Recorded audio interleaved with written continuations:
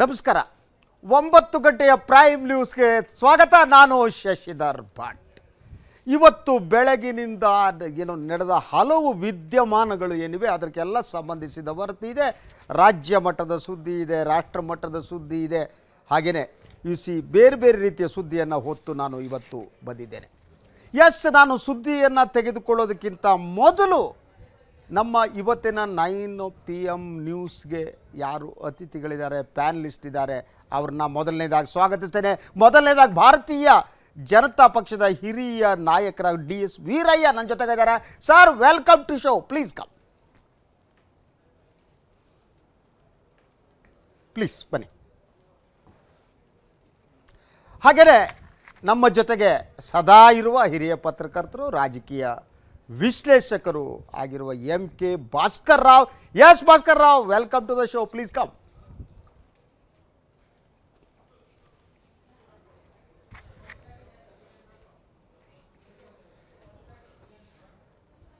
ಇನ್ನು ಕಾಂಗ್ರೆಸ್ ಪಕ್ಷದಿಂದ ಉಗ್ರಪ್ಪ ಅವರು ಬಂದು ನಮ್ಮ ಜಾಯಿನ್ ಆಗ್ತಾರೆ. ಯಾವ ಕ್ಷಣದಲ್ಲಿ ಬೇಕಾದರೂ ಅವರು ಬರಬಹುದು. ನಿಮಗೆ ಗೊತ್ತೇ, ನಮ್ಮ ಫಾರ್ಮ್ಯಾಟ್ ಪ್ರಕಾರ ಒಂದೊಂದೇ ಸುದ್ದಿಯನ್ನು ತೆಗೆದುಕೊಳ್ತಾ ನಮ್ಮ ಪ್ಯಾನಲಿಸ್ಟ್ ಏನಿದ್ದಾರೆ? ಅವ್ರ ಜೊತೆ ನಾನು ಚರ್ಚೆ ಮಾಡ್ತೀನಿ. ಎಸ್ ಈಗ ಮೊದಲನೇದಾಗಿ ನೋಡೋಣ. ಹೆಡ್ಲೈನ್ಸ್ ಅಂತ ನಾನು ಹೇಳಬೇಕು ಅಂತಿದ್ದೆ. ಅಷ್ಟೊತ್ತಿಗೆ ಉಗ್ರಪ್ಪನವ್ರು ಬರ್ತಾ ಇದ್ದಾರೆ. ಅವ್ರನ್ನ ಸ್ವಾಗತಿಸಿ, ಅವ್ರನ್ನ ಕೂಡಿಸಿ ನಾನು ಹೆಡ್ಲೈನ್ಸ್ಗೆ ಹೋಗ್ಬೋದು ಅನ್ಸುತ್ತೆ. ಉಗ್ರಪ್ಪನವ್ರೆ please come welcome to the show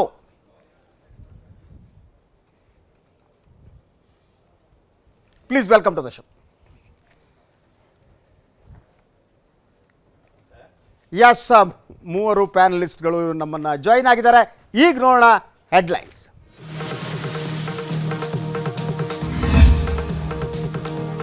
high command ಕಪ್ಪ ಪ್ರಕರಣ, ಡೈರಿ ಬಿಡುಗಡೆ ಮಾಡಿದವರು ಯಾರು? ಇದು ನೈಜ ಡೈರಿಯಾ ಅಥವಾ ಸೃಷ್ಟಿಸಿದ ಡೈರಿಯಾ?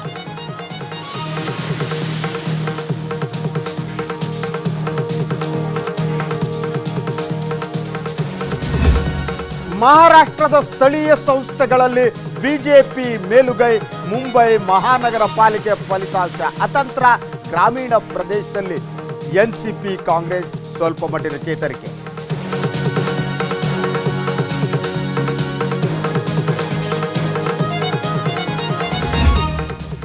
ಜೆಡಿಎಸ್ನಲ್ಲಿ ಮತ್ತೆ ಭುಗಿಲೆದ್ದ ಅಸಮಾಧಾನ ಪಕ್ಷಕ್ಕೆ ದೇವನಹಳ್ಳಿ ಶಾಸಕ ಶಾಸಕ ಪಿಳ್ಳ ಮುನಿಶಾಮಪ್ಪ ರಾಜೀನಾಮೆ ಸಣ್ಣ ಗೊಂದಲದಿಂದ ಇಂಥ ನಿರ್ಧಾರ ಅಂದ್ರು ಎಚ್ ಡಿ ಕೆ.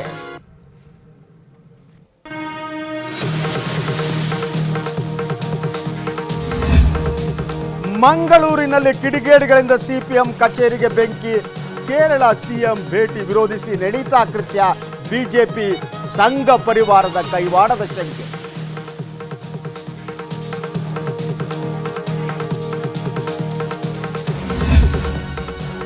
ಭೂಮಿಯನ್ನೇ ಹೋಲುವ ಏಳು ಗ್ರಹಗಳ ಪತ್ತೆ ನಾಸಾ ವಿಜ್ಞಾನಿಗಳಿಂದ ಮಹತ್ವದ ಸಂಶೋಧನೆ ಸಿಕ್ಕಿದೆ ನೀರಿನ ಕುರು. ಮಾನವನ ವಾಸಕ್ಕೂ ಈ ಗ್ರಹಗಳು ಯೋಗ್ಯವಂತೆ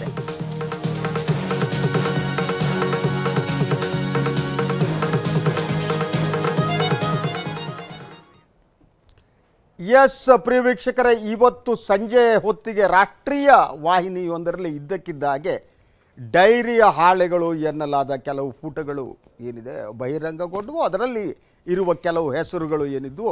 ಈ ಹೆಸರುಗಳು ಕರ್ನಾಟಕದ ಕಾಂಗ್ರೆಸ್ ನಾಯಕರು ಇಂತಿಂಥವ್ರದ್ದು, ಇದಿಂಥವ್ರದ್ದು ಅಂತೇಳಿ ಚರ್ಚೆ, ವಿಮರ್ಶೆ ಎಲ್ಲವೂ ಕೂಡ ವಾಹಿನಿಗಳಲ್ಲಿ ನಡೀತಾ ಇದೆ. ಆದರೆ ಒಟ್ಟಾರೆಯಾಗಿ ಈ ಒಂದು ಡೈರಿ ಎನ್ನಲಾದ ಹಾಳೆ ತುಂಡುಗಳಿವೆ. ಅದನ್ನು ಬಿಡುಗಡೆ ಮಾಡಿದವರು ಯಾರು? ಅದು ಎಲ್ಲಿಂದ ಬಂತು? ಐ ಟಿ ರೈಡ್ನಲ್ಲಿ ಸಿಕ್ಕಿರುವುದಾದರೆ ಅದನ್ನು ಯಾವುದೋ ವಾಹಿನಿಯೊಂದಕ್ಕೆ ತಲುಪಿಸಿದವರು ಯಾರು? ಹಾಗೆಯೇ ಇದಕ್ಕಿಂತ ಮೊದಲು ಏನು ಯಡಿಯೂರಪ್ಪನವರು ಒಂದು ಸಾವಿರ ಕೋಟಿಯ ಮಾತನಾಡಿದ್ರು, ಈ ಎಲ್ಲ ಘಟನಾವಳಿಗಳು ವ್ಯವಸ್ಥಿತವಾಗಿ ನಡೆದುಕೊಂಡು ಬಂದಿವೆ. ಇದು ಬಹಳ ಮುಖ್ಯವಾದ ಪ್ರಶ್ನೆ. ಅದರ ಜೊತೆಗೆ ಡೈರಿಗಳೇನಿವೆ ನೀವು ಪ್ರಧಾನಿ ನರೇಂದ್ರ ಮೋದಿ ಅವರು ಗುಜರಾತ್ ಮುಖ್ಯಮಂತ್ರಿ ಆಗಿದ್ದಾಗಲೂ ಕೂಡ ಈ ಡೈರಿಯ ಪ್ರಶ್ನೆ ಬಂದಿತ್ತು. ಅದು ನ್ಯಾಯಾಲಯದಲ್ಲಿ ನಿಲ್ಲಿಲ್ಲ. ಆದರೆ ಒಟ್ಟಾರೆಯಾಗಿ ಈ ಘಟನಾವಳಿಗಳನ್ನು ಗಮನಿಸಿದರೆ ನಮಗೆ ಕೆಲವು ಅನುಮಾನಗಳಿವೆ. ಅದಕ್ಕೆ ನಾನು ಪ್ರಾರಂಭದಲ್ಲಿ ಹೇಳಿದ್ದು, ಇದು ನೈಜ ಡೈರಿಯೋ ಅಥವಾ ಸೃಷ್ಟಿಸಿದ ಡೈರಿಯೋ ಏನು ಅಂತ. ಯಾಸ್, ವೀರಯ್ಯ, ನಿಮ್ಮನ್ನು ಕೇಳೋದಕ್ಕೆ ಇಷ್ಟಪಡ್ತೀನಿ. ಸಂಜೆಯಿಂದ ನಡೀತಾ ಇದೆ, ನಿಮಗೆ ರಾಜಕೀಯ ಲಾಭ ಆಗೋದು ನಿಮಗೇನೆ. ನೋ ಇಶ್ಯೂ ಅಬೌಟ್ ಆದರೆ ಪ್ರಧಾನಿ ನರೇಂದ್ರ ಮೋದಿ ಅವರು ಡೈರಿಯರ್ ಸಿ ಎಂ ಆಫ್ ಗುಜರಾತ್ ಅಂದ್ಕೊಂಡು ಬಂದಿತ್ತು. ಆವಾಗೆಲ್ಲ ನೀವು ಡಿನೈ ಮಾಡಿದ್ರಿ. ಸುಳ್ಳು ಅಂತ. ಸೊ ಡೈರಿ ಅಲ್ಲೂ ಸುಳ್ಳು ಆದರೆ ಇಲ್ಲಿ ಡೈರಿ ಸತ್ಯ ಹೇಗಾಗುತ್ತೆ? ಸರ್ ಡೈರಿಯ ನೈಜತೆ ಬಗ್ಗೆ ನಾವೆಲ್ಲ ತೀರ್ಮಾನ ಮಾಡೋದಕ್ಕಾಗಲ್ಲ. ಅದು ಸುಳ್ಳೋ ನಿಜವೋ ಅದು ತೀರ್ಮಾನ ತೀರ್ಮಾನ ಆಗುವಂಥದ್ದು ಒಂದು ತನಿಖಾ ಮುಖಾಂತರ. ಆದರೆ ಜನತೆಯ ಮುಂದೆ ನಿಮಿಷ ನಿಮ್ಮ ಹತ್ರ ಬರ್ತೀನಿ. ನಮ್ಮ ವರದಿಗಾರ ಮಂಜೇಶ್ ಅವರು ನಮ್ಮ ಜೊತೆ ನೇರ ಸಂಪರ್ಕದಿದ್ದಾರೆ ಏನು ವಿದ್ಯಾ? ಇದು ಹೇಗೆ ನಡೀತಾ ಹೋಯ್ತು ಅಂತ ನಾವು ಅವ್ರನ್ನ ಕೇಳ್ಬಿಟ್ಟು ನಾವು ಚರ್ಚೆ ಮಾಡ್ಬೋದು. ಮಂಜೇಶ್. ಶಶಿಧರ್ ಎಸ್ ಯಾವ ಯಾವ ರಾಷ್ಟ್ರೀಯ ವಾಯಿನಲ್ಲಿ ಎಷ್ಟೊತ್ತಿಗೆ ಬಂತು ಅದು ಅದರ ನಂತರ ಇಡೀ ಘಟನೆ ಯಾವ ಯಾವ ತಿರುವನ್ನು ಪಡೀತು ಮಂಜೇಶ್? ಆ, ಶಶಿಧರ್ ತೋಳ ಬಂತು, ತೋಳ ಕತೆ ಇದೊಂಥರ ಅಂತ ಅಂದರೆ ಯಾಕಂದರೆ ಬಿ ಜೆ ಪಿಯವರು ಗೋವಿಂದರಾಜ್ ಅವರ ಡೈರಿಯನ್ನು ಇಲ್ಲ ಕೇಂದ್ರದ ಬಿ ಜೆ ಪಿ ನಾಯಕರು ಅಥವಾ ಸ್ವತಃ ಯಡಿಯೂರಪ್ಪ ಅವರು ಬಿಡುಗಡೆ ಮಾಡ್ತಾರೆ ಅಂತೇಳಿ ಸಾಕಷ್ಟು ಜನರಲ್ಲಿ ಕುತೂಹಲ ಇತ್ತು, ಆದರೆ ಅದು ಯಾರೂ ಮಾಡಲಿಲ್ಲ. ಅದನ್ನು ಕೇವಲ ಒಂದು ಯಾವುದೊಂದು ರಾಷ್ಟ್ರೀಯ ವಾಹಿನಿಯಲ್ಲಿ ಬಿಡುಗಡೆ ಮಾಡಿದಂಥ ಆದರೆ ಈಗ ನಮಗೆ ಸದ್ಯವಾಗಿ, ಅಂದರೆ ಈಗ ಸದ್ಯಕ್ಕೆ ನಮಗೆ ಉದ್ಭವವಾಗಿರೋ ಪ್ರಶ್ನೆ ಆ ಡೈರಿ ನೈಜವಾಗಿರುವಂಥದ್ದ ಅದರಲ್ಲಿ ಮೆನ್ಷನ್ ಮಾಡಿರೋ ಅಂಶಗಳೆಲ್ಲವೂ ಸತ್ಯವ ಅನ್ನೋದು ಈಗ ಎದ್ದಿರುವಂಥ ಪ್ರಶ್ನೆ. ಯಾಕಂದರೆ ಸ್ವತಃ ಗೋವಿಂದರಾಜ್ ಅವರೇ ಮಾಧ್ಯಮಗಳಿಗೆ ಪ್ರತಿಕ್ರಿಯೆ ನೀಡಿರುವಂಥದ್ದು ನೀವು ವಾಹಿನಿಗಳಲ್ಲಿ ತೋರಿಸ್ತಾ ಇರುವಂಥ ಯಾವುದೇ ಡೈರಿ ವಿಚಾರಗಳು ನನ್ನದಲ್ಲ, ಮತ್ತು ಆ ಬರವಣಿಗೆಯು ನನ್ನದಲ್ಲ ಅಂತ ಮಾತನ್ನು ಸ್ಪಷ್ಟವಾಗಿ ಹೇಳಿದ್ದಾರೆ.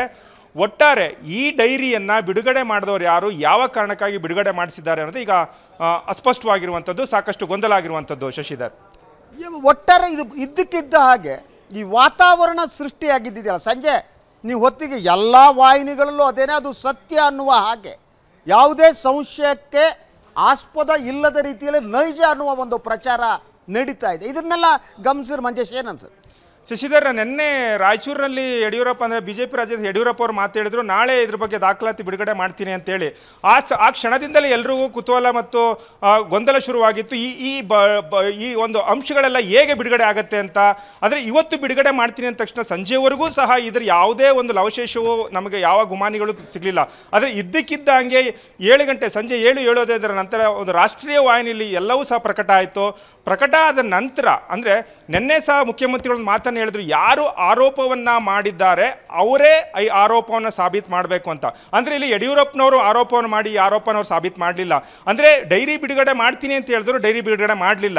ಈ ಡೈರಿಯನ್ನು ಬಿಡುಗಡೆ ಮಾಡಿದವರು ಯಾರು? ಈ ಡೈರಿ ಹೇಗೆ ಸಿಕ್ತೋ, ಇವೆಲ್ಲವೂ ಸಹ ಈಗಾಗಲೇ ಸಾಕಷ್ಟು ಗೊಂದ ಕುತೂಹಲ ಆಗಿರುವಂಥದ್ದು ಗೊಂದಲ ಆಗಿರುವಂಥದ್ದು ಆದರೆ ಇದಕ್ಕೆ ಸ, ಖಂಡಿತವಾಗ್ಲೂ ಈ ಪ್ರಶ್ನೆಗೆ ಉತ್ತರ ಸಿಗ್ತಾ ಇಲ್ಲ, Shashidhar. Okay thank you Manjesh. Thank you very much sir ಒಂದು ಡೈರಿಯ ಪ್ರಶ್ನೆ ಒಂದು ಹಾಳೆ ಇದೆ ಸರ್ ಈಗ. ಅದನ್ನು ಬರೆದ್ಬಿಟ್ಟು. ಯಾರು ಬೇಕಾದ್ರೆ ಈ ಎಸ್ ಬಿ ಅಂತಿದೆ. ನಾನೇ ನೋಡಿದೆ ನಾನೆಲ್ಲರೂ ಕೊಟ್ಟಿದ್ರೆ ಹತ್ತೊಂಬತ್ತು ಕೋಟಿ ಒಂಬತ್ತು ಕೋಟಿ ಎಸ್ ಬಿ ಅಂದ್ರೆ ಶಶಿಧರ್ ಭಟ್ ನಾನು.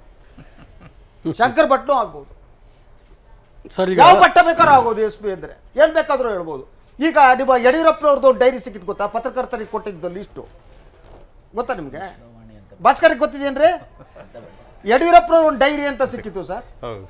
ಈ ಗಣಿ ಇದಕ್ಕೆ ಸಂಬಂಧಪಟ್ಟಾಗ ಅಲ್ಲಿ ಪತ್ರಕರ್ತರ ಹೆಸರುಗಳಿದ್ವು ಬೇಕಾದಷ್ಟು ಅಲ್ವಾ?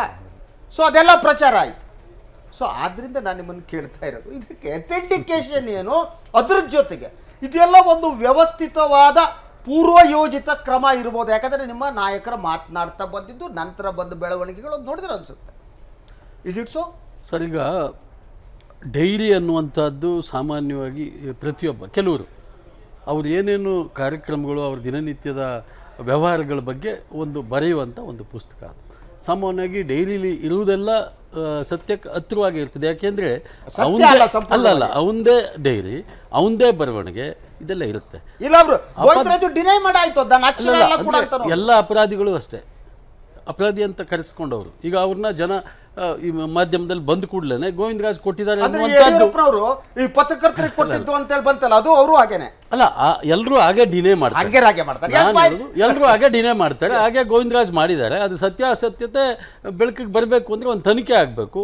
ತನಿಖೆ ನಿಷ್ಪಕ್ಷಪಾತವಾಗಿ ಆಗಬೇಕು. ಆಗ ಗೊತ್ತಾಗುತ್ತೆ ಗೋವಿಂದ ರಾಜ್ ಆ, ಗೋವಿಂದರಾಜ್ ಅವ್ರ ಡೈರಿ ಅದರಲ್ಲಿ ಇಲ್ಲಿ ಸತ್ಯ ಅನ್ನುವಂಥದ್ದು ತನಿಖೆ ಮುಖಾಂತರ ಬೆಳಕಿಗೆ ಬರ್ತದೆ. ಬಹುಶಃ ನನಗಂತೂ ಸಾರ್ವಜನಿಕ ಜೀವನ ಇಷ್ಟೊಂದು ಕಲುಷಿತ ಆಗಿದೆ ಅಂಥೇಳಿ ನಂಬಲಿಕ್ಕೆ ಆಗದೇ ಇರೋವಂಥ ಒಂದು ರೀತಿ ಡಿಸ್ಗಸ್ಟ್ ಆಗುವಂಥ ಸ್ಥಿತಿಗೆ ನಾನಂತೂ ತಲುಪಿದ್ದೇನೆ. ರಾಜಕಾರಣದಲ್ಲಿ ಆ ಸ್ಟೇಟ್ಸ್ಮನ್ಶಿಪ್ ಅನ್ನೋವಂಥದ್ದು ಇವತ್ತು ಕಾಣ್ತಾ ಇಲ್ಲ. ಸ್ಟೇಟ್ಸ್ಮನ್ಶಿಪ್ ಅನ್ನೋವಂಥದ್ದು ಇದ್ದಿದ್ರೆ ಎಸ್ ಒಂದು ಕಡೆ ರಾಷ್ಟ್ರ ರಾಜ್ಯದ ಹಿತವನ್ನು ಕಾಪಾಡ್ತಕ್ಕಂಥದ್ದು. ಸೊ ಅದರ ಜೊತೆ ಜೊತೆಗೆ ಭ್ರಷ್ಟಾಚಾರದ ವಿರುದ್ಧ ಹೋರಾಟ ಮಾಡ್ತಕ್ಕಂಥ ಸಂದರ್ಭದಲ್ಲಿ ಕೆಲವು ವಿಚಾರಗಳಲ್ಲಿ ನಾವು ಸ್ಪಷ್ಟತೆಯನ್ನು ಹೊಂದಿರಬೇಕಾಗುತ್ತೆ. ಯಡಿಯೂರಪ್ಪನವರು ಸದಾ ಅನೇಕ ದಿನಗಳಿಂದ ಒಂದು ಕ ಸಂದರ್ಭದಲ್ಲಿ ಮೂರು ಜನ ಮಂತ್ರಿಗಳು ರಾಜೀನಾಮೆ ಕೊಡ್ತಾರೆ ಅಂತ ಹೇಳಿ ಹೇಳಿದಂಥದ್ದು. ನಂತರ ಸಾವಿರ ಕೋಟಿ ಕಿಕ್ ಬ್ಯಾಕ್ ಕೊಟ್ಟಿದ್ದಾರೆ ಅಥವಾ ಹೈಕಮಾಂಡ್ಗೆ ಕಪ್ಪು ಎಂಥದ್ದು ಕಪ್ಪು ಕಾಣಿಕೆಗಳನ್ನು ಕಪ್ಪ ಕಾಣಿಕೆಗಳನ್ನು ಕೊಟ್ಟಿದ್ದಾರೆ. ಸೊ ನಾನು ಇವತ್ತು ಬಿಡುಗಡೆ ಮಾಡ್ತೀನಿ ನಾಳೆ ಬಿಡುಗಡೆ ಮಾಡ್ತೀನಿ ಅನ್ನೋವಂಥದ್ದು ಹೇಳಿರ್ತಾ ಹೇಳ್ತಾ ಬಂದಿರತಕ್ಕಂಥ ಸಂದರ್ಭದಲ್ಲಿ ಅವರು ಬಿಡುಗಡೆ ಮಾಡ್ದೇನೆ ಯಾವುದೋ ಒಂದು ಸುದ್ ಒಂದು ಟಿ ವಿ ಚಾನಲ್ ಮೂಲಕ ಈ ರೀತಿಯ ಒಂದು ಡೈರಿ ಅಂಥೇಳಿ ಡೈರಿಯ ನೋಟಿಂಗ್ಸ್ ಅಂಥೇಳಿ ಕೆಲವು ಬಿಡುಗಡೆ ಮಾಡಿರ್ತಕ್ಕಂಥದ್ದನ್ನು. ನೋಡಿದ್ರೆ ಪೇಜ್ಗಳನ್ನು ಈ ಪೇಜ್ಗಳ ಮಹತ್ವ ಏನು ಅಂಥೇಳಿ ಸಹಾರಾ ಮತ್ತು ಬಿರ್ಲಾ ಕೇಸ್ನಲ್ಲಿ ಸುಪ್ರೀಂ ಕೋರ್ಟ್ ಈಗಾಗಲೇ ಎರಡು ಸಾವಿರದ ಹದಿನಾಲ್ಕರಲ್ಲಿ ಒಂದು ಆದೇಶವನ್ನು ಮಾಡಿದ್ದಾರೆ. ಬುಕ್ಸ್ ಆಫ್ ಅಕೌಂಟ್ಸಲ್ಲಿ ರಿಫ್ಲೆಕ್ಟ್ ಆಗದ ಇದ್ದರೆ ಯಾವುದೇ ಡೈರಿ ಆಗಲಿ ಯಾವುದೇ ನೋಟ್ಬುಕ್ ಆಗಲಿ ಯಾವುದೇ ಪೇಪರ್ಗಳಲ್ಲಾಗಲಿ ರಿಫ್ಲೆಕ್ಟ್ ಆಗಿರ್ತಕ್ಕಂಥದ್ದು ಸತ್ಯ ಅಂತೇಳಿ ಸ್ವೀಕಾರ ಮಾಡಲಿಕ್ಕೆ ಆಗೋದಿಲ್ಲ ಅನ್ನುವಂಥದ್ದು ಸುಪ್ರೀಂ ಕೋರ್ಟ್ ಈಗಾಗಲೇ. ಅದರಲ್ಲಿ ಯಾರ ಮೇಲೆ ಅಲಿಗೇಷನ್ನು ಇವತ್ತೇನು ಈ ದೇಶದ ಪ್ರಧಾನಮಂತ್ರಿಗಳಾಗಿರ್ತಕ್ಕಂಥ ಮಿಸ್ಟರ್ ಮೋದಿಯವರು ಚ ಎರಡು ಸಾವಿರದ ಹದಿನಾಲ್ಕರ ಚುನಾವಣೆಯ ಸಂದರ್ಭದಲ್ಲಿ ಸೊ ಸಹಾರಾ ಗ್ರೂಪ್ ಆಫ್ ಇಂಡಸ್ಟ್ರೀಸಿಂದ ಮತ್ತು ಬಿರ್ಲಾ ಇವರಿಂದ ಇಷ್ಟೆಲ್ಲ ಕೋಟ್ಯಾಂತರ ರೂಪಾಯಿಗಳನ್ನು ರಿಸೀವ್ ಮಾಡಿದ್ದಾರೆ ಅನ್ನುವಂಥ ನೋಟಿಂಗ್ಸ್ ಮೇಲೆ ಈಗಾಗಲೇ ಫೈಂಡಿಂಗ್ ಇದೆ. ಇದು ಒಂದು ಕಡೆ. ಸೊ ಅಂದ್ರೆ ಈ ರೀತಿಯ ಫೈಂಡಿಂಗ್ಸ್ ಮೇಲೆ ಯಾವುದೇ ಒಂದು ಕನ್ಕ್ಲೂಸಿವ್ ಪ್ರೂಫ್ ಆಗೋದಿಲ್ಲ. ಇದನ್ನ ಗಣನೆಗೆ ತೆಗೆದುಕೊಳ್ಳಿಕ್ಕೆ ಆಗೋದಿಲ್ಲ ಅನ್ನುವಂಥದ್ದು ಒಂದು ಕಡೆ ಆದರೆ ಸೊ ಈ ರೀಸ್ ಎ ಕೇಸ್ ವೇರ್ ಇಲ್ಲಿ ನನಗೆ ಅರ್ಥ ಆಗೋದಿಲ್ಲ ಯಾವುದೇ ಕರೆಸ್ಪಾಂಡೆನ್ಸ್ ಇದ್ದರೆ ರೈಡ್ ಆದಂಥ ಸಂದರ್ಭದಲ್ಲಿ ಅದರ ಮಾಹಿತಿ ಆ ರೈಡ್ ಆಗಿರ್ತಕ್ಕಂಥವನ ಹತ್ರ ಇರಬೇಕು. ಇಲ್ಲ ಆ ಇಲಾಖೆಯವರ ಹತ್ರ ಇರಬೇಕು. ಸೊ ಇವರಿಬ್ಬರ ಮಧ್ಯೆ ಇರತಕ್ಕಂಥ ಡಾಕ್ಯುಮೆಂಟ್ಸು ಮೀಡಿಯಾಗೆ ಹೇಗೋಯ್ತು? ಇಲ್ಲಿ ಎಲ್ಲೋ ಒಂದು ಕಡೆ ಕೇಂದ್ರ ಇಲ್ಲ ಒಂದು ವೇಳೆ ಅಕಸ್ಮಾತ್ ಸೀಸ್ ಆಗಿರೋ ಡಾಕ್ಯುಮೆಂಟೇ ಆಗಿದ್ದರೆ ಅದು ಮೀಡಿಯಾಗೆ ಹೋಗಿದೆ ಅಂತ ಹೇಳಿದ್ರೆ ಕೇಂದ್ರ ಸರ್ಕಾರ ಈ ಕಾನ್ಸ್ಪಿರಸಿನಲ್ಲಿ ಭಾಗಿಯಾಗಿದೆ. ಡಿಸ್ಕಸ್ ಭಾಸ್ಕರ್ ನನ್ನ ನನ್ನ ಪ್ರಶ್ನೆ ಇರೋದು. ಒಂದೊಮ್ಮೆ ಇದೇನು ಇದು ಈ ಡೈರಿಯಲ್ಲಿರುವುದು ನಿಜವಾದ ಅಂಶ ಅಂತ ಏನು ಪ್ರತಿಪಾದನೆ ಮಾಡಿ ಎಲ್ಲ ಪ್ರಚುರಪಡಿಸಲಾಗ್ತಾ ಇದೆ. ಒಂದೊಮ್ಮೆ ಈ ಡೈರಿಯಲ್ಲಿ ಇದೆ ನಿಜವಾದ್ದು ಅಂತ ಕನ್ಸಿಡರ್ ಮಾಡಿದರೆ ಈಗ ಉಗ್ರಪ್ಪರವರು ಹೇಳಿದಾಗೆ ಬಿರ್ಲಾ ಎಂಡ್ ಇವರು ಕೊಟ್ಟಿರುವ ಗಾಡಿ ಪ್ರಧಾನಿ ಮೇಲೆ ಏನಿದೆ? ನಲವತ್ತೈದು ಕೋಟಿ ಒಂದು ಸಲ ಇಲೆಕ್ಷನ್ ಟೈಮ್ ಕೊಟ್ಟಿದ್ದೀವಿ ಗುಜರಾತ್ ಚೀಫ್ ಮಿನಿಸ್ಟರ್ ಅಂತಾರೆ ಇದೆ ಅದು ಪ್ರೂವ್ ಆಗಬೇಕು. ಇದು ಎರಡಕ್ಕೂ ಒಂದೇ ಮಾನದಂಡ ಅನ್ಸಬೇಕು prime minister is also culprit ನಾವು ಕರೆಕ್ಟ್. ಈಗ ಸುಪ್ರೀಂ ಕೋರ್ಟ್ ಆ ವಿಚಾರದಲ್ಲಿ ಒಂದು ತನ್ನ ತೀರ್ಮಾನವನ್ನು ಹೇಳಿಬಿಟ್ಟಿದೆ. ಅದನ್ನು ಉಗ್ರಪ್ಪನವರು ಭಾಳ ವಿಶದವಾಗಿ ಹೇಳಿದ್ದಾಗಿದೆ. ನಾನು ಅದರ ಮತ್ತೆ ಪುನರ್ ವ್ಯಾಖ್ಯಾನಕ್ಕೆ ಹೋಗೋದಿಲ್ಲ ನಾನು. ಇಂಥ ಡೈರಿಯಲ್ಲಿ ಬಂದಿರೋದು ಬಂದಿರೋದು ಅಂಥೇಳಿ ಏನು ಇವತ್ತು ನಮ್ಮ ಮುಂದೆ ಇದೆ. ಇದು ಕೂಡ ಇವತ್ತು ಕೋರ್ಟಿನ ಒಂದು ವಿಚಾರಣೆಗೆ ಒಳಗಾಗಲೇಬೇಕಾಗತ್ತೆ. ಇವತ್ತಲ್ಲ, ನಾಳೆ ಆಗಲೇಬೇಕಾಗತ್ತೆ. ಆದರೆ ಅಲ್ಲಿವರೆಗೆ ಆಗ್ಬೋದಾದ್ದು ಏನು ಹೇಳೋದನ್ನು ನಾವು ನೋಡಬೇಕು. ಇನ್ನು ಮಾಧ್ಯಮದಲ್ಲಿ ಲೆಕ್ಕಾಚಾರ ಏನಿದೆ ಅಂತಂದರೆ ಒಂದು ಹಾಳೆಯಷ್ಟು ಅದರೊಳಗಡೆ ಬಂದಿದೆ ಹೇಳೋದನ್ನು ನಾವು ಈಗ ನೋಡ್ತಾ ಇದ್ದೇವೆ ಇದು. ನಾನು ಮಾಧ್ಯಮದ ಒಬ್ಬನಾಗಿ ನಾನು ಹೇಳೋದು, ಈ ಸೆಲೆಕ್ಟಿವ್ ಲೀಕೇಜ್ ಅನ್ನೋದು ಒಂದಿದೆ. ಅದನ್ನು ಎಲ್ಲ ಸರ್ಕಾರಗಳು ಎಲ್ಲ ರಾಜಕಾರಣಿಗಳು ಎಲ್ಲ ಸಂದರ್ಭದಲ್ಲಿ ಎಲ್ಲ ಪತ್ರಿಕೆಗಳನ್ನು ಸಾಧ್ಯವಾದರೆ ಎಲ್ಲ ಪತ್ರಕರ್ತರನ್ನ ಬಳಸ್ಕೊಳ್ಳೋ ಅಂಥ ಒಂದು ಪ್ರವೃತ್ತಿ ಕಳೆದ ಐವತ್ತು ಅರುವತ್ತು ವರ್ಷಗಳಿಂದ ನಡೆದಿದೆ. ಅದು ಇಲ್ಲಿ ಇಲ್ಲಿ ಅಷ್ಟೇ ಅಲ್ಲ ಜಗತ್ತಿನ ಎಲ್ಲ ಕಡೆಗಳಲ್ಲೂ ಇದೆ. ಎಲ್ಲೆಲ್ಲಿ ಡೆಮೋಕ್ರಸಿ ಇದೆಯಾ ಅಲ್ಲೆಲ್ಲ ಅದು ನಡ್ಕೊಂಡು ಬಂದಿದೆ. ಹಾಗಾಗಿ ಪತ್ರ ಇದು ಮಾಧ್ಯಮಗಳು ಪ್ರಕಟಿಸಿರೋದ್ರ ಬಗ್ಗೆ ನಂದು ಆಕ್ಷೇಪ ಇಲ್ಲ. ಯಾಕೆಂದ್ರೆ ಅದೊಂದು ಸೆಲೆಕ್ಟಿವ್ ಲೀಕೇಜ್ ರೂಪವಾಗಿ ಅದು ಬಂದಿರಬಹುದು ಅದು ಬಂದಿರಬಹುದು ಕಂಪ್ಲೀಟ್ ಕಂಪ್ಲೀಟ್ ಈಗ ಈಗ ನಿಮ್ಮ ಹತ್ರ ಕಂಪ್ಲೀಟ್ ಮಾಡ್ಬಿಡ್ತೀನಿ. ಒಂದು ನಿಮಿಷ ಒಂದು ನಿಮಿಷ. ಉಳಿದು ಲೆಟರ್ ಹೆಡ್ ಇದ್ದು ಇನ್ನೊಂದಿದ್ರೆ ಡಾಕ್ಯುಮೆಂಟ್ ಎಗ್ರಿ ಕರೆಕ್ಟ್ ಯಾವುದೋ ಒಂದು ಕಾಗದದ ತುಂಡು ಕಾಗದದ್ದು ಡೈರಿಗೆ ಇಂಥವ್ರೆ ಡೈರಿ ಅಂತ ನಿಮಗೆ ಅಥೆಂಟಿಕೇಶನ್ ಸಿಗಲ್ಲ. ಇಲ್ಲ. ಬಟ್ ಲೆಟರ್ ಹೆಡ್ ಇದ್ದು ಇನ್ನೊಂದಿದ್ದು ಡಾಕ್ಯುಮೆಂಟ್ಸ್ ಅಲ್ಲ, there is the difference between ಅಲ್ಲ ಲೆಟರ್ ಹೆಡ್ ಇದ್ರೂ ಕೂಡ ಅದು ಅನುಮ ಇದು ಅಲ್ಲ ಅದು ನಂಬಿಕೆಗೆ ಅರ್ಹ ಅಂತ ಹೇಳಿ ನಾನು ಹೇಳೋದಿಲ್ಲ. ಲೆಟರ್ ಹೆಡ್ ಇದ್ರೂ ಕೂಡ ನಾವು ಉಗ್ರಪ್ಪನವ್ರ ಲೆಟರ್ ಹೆಡ್ ಮೇಲೆ ನಾನೇನೋ ಬರೆದು ಕೊಟ್ಬಿಡ್ಬೋದು. ಸೊ ಆ ಥರ ಆಗೋಂಥ ಸಾಧ್ಯತೆಗಳು ಬಹಳ ಇರ್ತದೆ. ಆದರೆ ನಾನು ಹೇಳೋದೇನು ಅಂದರೆ ಇಂಥ ವಿಚಾರಗಳಲ್ಲಿ ಇದೊಂಥರ ತ್ವರಿತ ವಿಚಾರಣೆಯ ಕೋರ್ಟ್ ಅನ್ನೋದು ಹೇಳೋದು ಇರ್ತದಲ್ಲ ಅಂಥದ್ದು ಆಗಬೇಕು. ಮೊದಲನೇದಾಗಿ ಇಲ್ಲದೇ ಇದ್ದರೆ ಇಲ್ಲದೇ ಇದ್ದರೆ ಏನಾಗತ್ತೆ ಅಂತಂದರೆ ಒಂದು ರಾಜಕೀಯ ಪಕ್ಷದ ಬೇರೆ ಬೇರೆ ಮುಖಂಡರುಗಳ ತೇಜೋವಧಿಗೆ ಇದು ಬಳಸ್ಕೊಂಡಿದ್ದಾಗತ್ತೆ. ಈಗ ಅಲ್ಲಿ ಮೋದಿಯವರಿಗೆ ದುಡ್ಡು ಬ- ಹೋಗಿದೆ ಹೇಳೋದನ್ನು ಆ ಡೈರಿಗಳು ಹೇಳ್ತದೆ. ಆ ಸಹಾರ ಮತ್ತು ಡೈರಿಗಳು ಹೇಳ್ತದೆ.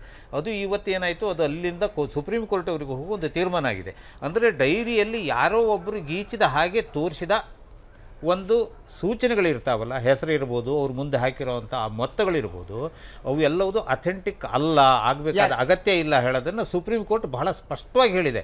ಅದರ ನಂತರವೂ ಇಂಥದ್ದೊಂದು ನಡೀತದೆ ಅಂತಂದರೆ ಅದೆಲ್ಲೋ ಒಂದು ರೀತಿಯಲ್ಲಿ ಕಿತಾಪತಿಯ ಒಂದು ಭಾಗವಾಗಿ ವೀರೇಂದ್ರ ನನ್ನ ನನ್ನ ಪ್ರಶ್ನೆ ಇರೋದು ಈಗ ಯಾವುದೇ ಮನೆಯ ಮೇಲೆ ದಾಳಿ ನಡೆದರೆ ದಾಳಿ ನಡೆಸಿದರೆ ಇಲ್ಲ ಅವರ ಬಂದ ಬಂದ. ಅಲ್ಲ ಅವ್ರು ಕೇಳೋದಕ್ಕೆ ಒಂದು ಸೆಂಟೆನ್ಸ್ ಆ್ಯಡ್ ಮಾಡಿಬಿಡ್ತಾರೆ.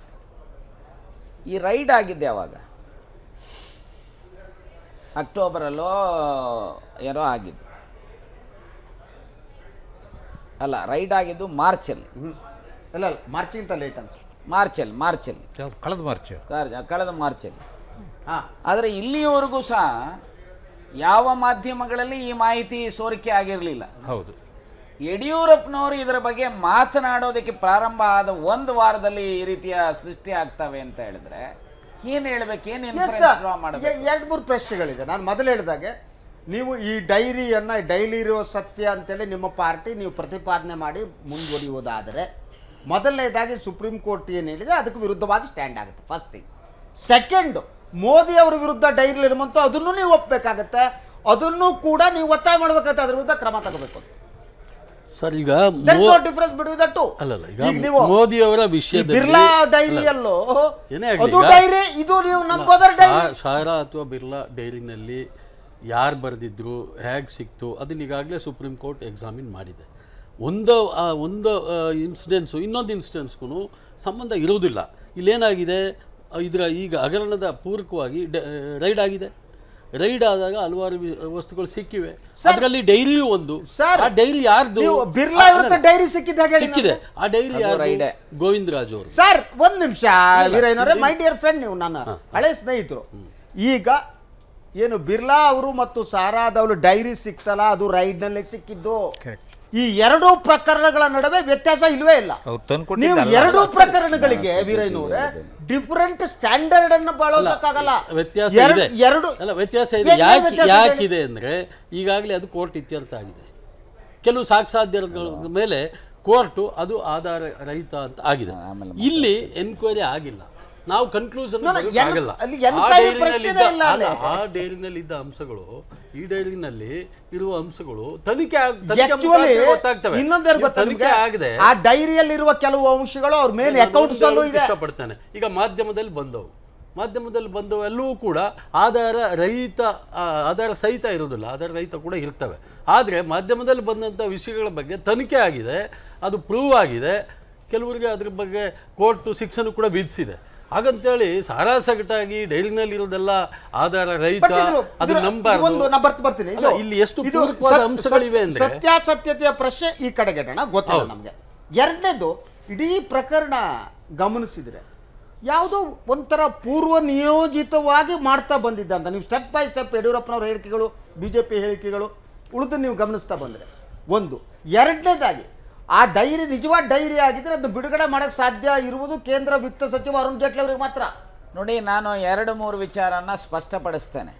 ಯಾವುದೇ ರೈಡಲ್ಲಿ ಸೀಸ್ ಆಗಿರ್ತಕ್ಕಂಥದ್ದು ಮಾಧ್ಯಮಗಳಿಗೆ ರಿಲೀಸ್ ಮಾಡುವಂಥ ಅವಕಾಶ ಇನ್ಕಮ್ ಟ್ಯಾಕ್ಸ್ ಆ್ಯಕ್ಟಲ್ಲಿ ಇಲ್ಲ. ಇದು ಒಂದು. ಒಂದು ವೇಳೆ ಆ ರೀತಿ ಎಲ್ಲಾದರೂ ಸೋರಿಕೆ ಆಗಿದೆ ಅಂತ ಹೇಳಿದರೆ, ಅದು ನಿಜಕ್ಕೂ ಜಿನೈನ್ ಆಗಿದ್ದರೆ ರೈಡ್ ಆಗಿ ಮಾರ್ಚಲ್ಲಿ ಆಗಿರ್ತಕ್ಕಂಥದ್ದು ಆ ಸಂದರ್ಭದಲ್ಲೇ ಹೊರಗೆ ಬರಬೇಕಾಗಿತ್ತು.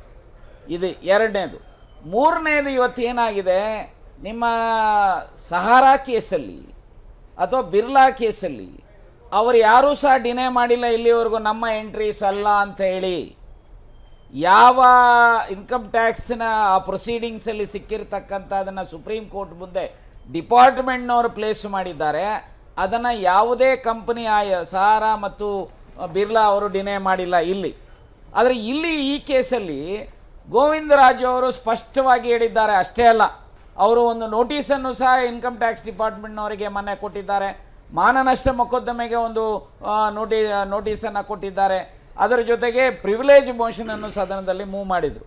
ಸೊ ಇಲ್ಲಿ ವಾದ ಮಾಡಿ, ಇಲ್ಲ ಇಲ್ಲ, ನಡೆದಿದೆ ನಡೆದಿದೆ ಅಂತೇಳಿ ಯಡಿಯೂರಪ್ಪನವರು ಹೇಳುವಂಥ ಒಂದು ವಾರದಲ್ಲಿ ಒಂದು ಯಾವುದೋ ಚಾನಲಲ್ಲಿ ಈ ರೀತಿಯ ದಾಖಲಾತಿಗಳು ತೋರಿಸುವಂಥದ್ದು ಇದೆಯಲ್ಲ ಇಲ್ಲಿ ನನಗೆ ಅನ್ನಿಸ್ತಕ್ಕಂಥದ್ದು ಒಂದು ಕಡೆ ಇವರು ಡಿನೇ ಮಾಡಿದರೂ ತೋರಿಸ್ತಕ್ಕಂಥದ್ದು. ನನ್ನ ಹ್ಯಾಂಡ್ ರೈಟಿಂಗೇ ಅಲ್ಲ ನನ್ನ ಡೈರಿನೇ ಅಲ್ಲ ಅಂತ ಹೇಳಿದ್ರು ಸಹ ತೋರಿಸ್ತಾ ಇರುವಂಥದ್ದನ್ನು ನೋಡಿದ್ರೆ ಎಲ್ಲೋ ಒಂದು ಕಡೆ ಕೆಲವರು ಸೇರಿ ಒಂದು ಕಾನ್ಸ್ಪಿರಸಿ ಮಾಡಿ ಈ ಸರ್ಕಾರಕ್ಕೆ ಕೆಟ್ಟ ಹೆಸರು ತರತಕ್ಕಂಥ ಪ್ರಯತ್ನಗಳು ಸಂಚು ಇವತ್ತು ನಡೀತಾ ಇದೆ ಅಂತೇಳಿ ಹೇಳಲಿಕ್ಕೆ ಕಾನ್ಸ್ಪಿರಸಿ ಭಾಸ್ಕರ್ ಈಗ ನೋಡಿ ಒಂದು ದಾಖಲೆಗಳು ಈಗ ಅದನ್ನ ಉಗ್ರಪ್ಪನವ್ರು ಹೇಳಿದ ಮಾತನ್ನು ನಾನು ಸಮರ್ಥಿಸ್ತೀನಿ. ಈಗ ಅರುಣ್ ಶೌರಿ ಅವರೇ ಅದನ್ನು ಬಿಡುಗಡೆ ಮಾಡಿಬಿಟ್ಟಿದ್ರೆ. ಈ ಪ್ರಶ್ನೆ ಅರುಣ್ ಚೌರಿ ಅಲ್ಲ. ಸಾರಿ ಅರುಣ್ ಜೇಟ್ಲಿ ಅವರು sorry I sorry. Arun Jaitley ಅವರೇ ನಮ್ಮ ವೃತ್ತಿ ಬಂಧು ಅಲ್ಲ. ಬರ್ತದೆ ಅದು. ಅರುಣ್ ಜೇಟ್ಲಿ ಅವರೇ ಅಥವಾ ಅವರ ಖಾತೆಯ ಇನ್ನೊಬ್ಬ ಸಹಾಯಕ ಸಚಿವರು ಅದನ್ನು ಬಿಡುಗಡೆ ಮಾಡಿದರೆ ಈ ಪ್ರಶ್ನೆ ಉದ್ಭವಿಸ್ತಾ ಇರಲಿಲ್ಲ. ಇಲ್ಲಿ ಮುಂದೆ ನೋಡೋಣ ಅಂತ ಹೇಳೋದೊಂದು ಬರ್ತಿತ್ತು. ಆದರೆ ಇವತ್ತು ಇದು ಯಾರು ಅಂದರೆ ಗೊತ್ತು ಯಾರು ಅದನ್ನು ರಿಲೀಸ್ ಮಾಡಿದ್ದಾರೆ ಹೇಳೋದು ಗೊತ್ತಿಲ್ಲ. ಆದರೆ ಪತ್ರಿಕೆಯಲ್ಲಿ ಮಾಧ್ಯಮದಲ್ಲಿ ಮುಖ್ಯವಾಗಿ ಟಿ ವಿ ಮಾಧ್ಯಮದಲ್ಲಿ ಈಗ ಹೆಸರುಗಳು ಒಂದೊಂದಾಗಿ ಒಂದೊಂದಾಗಿ ಒಂದೊಂದಾಗಿ ಬರ್ತಾ ಇದ್ದಾವೆ.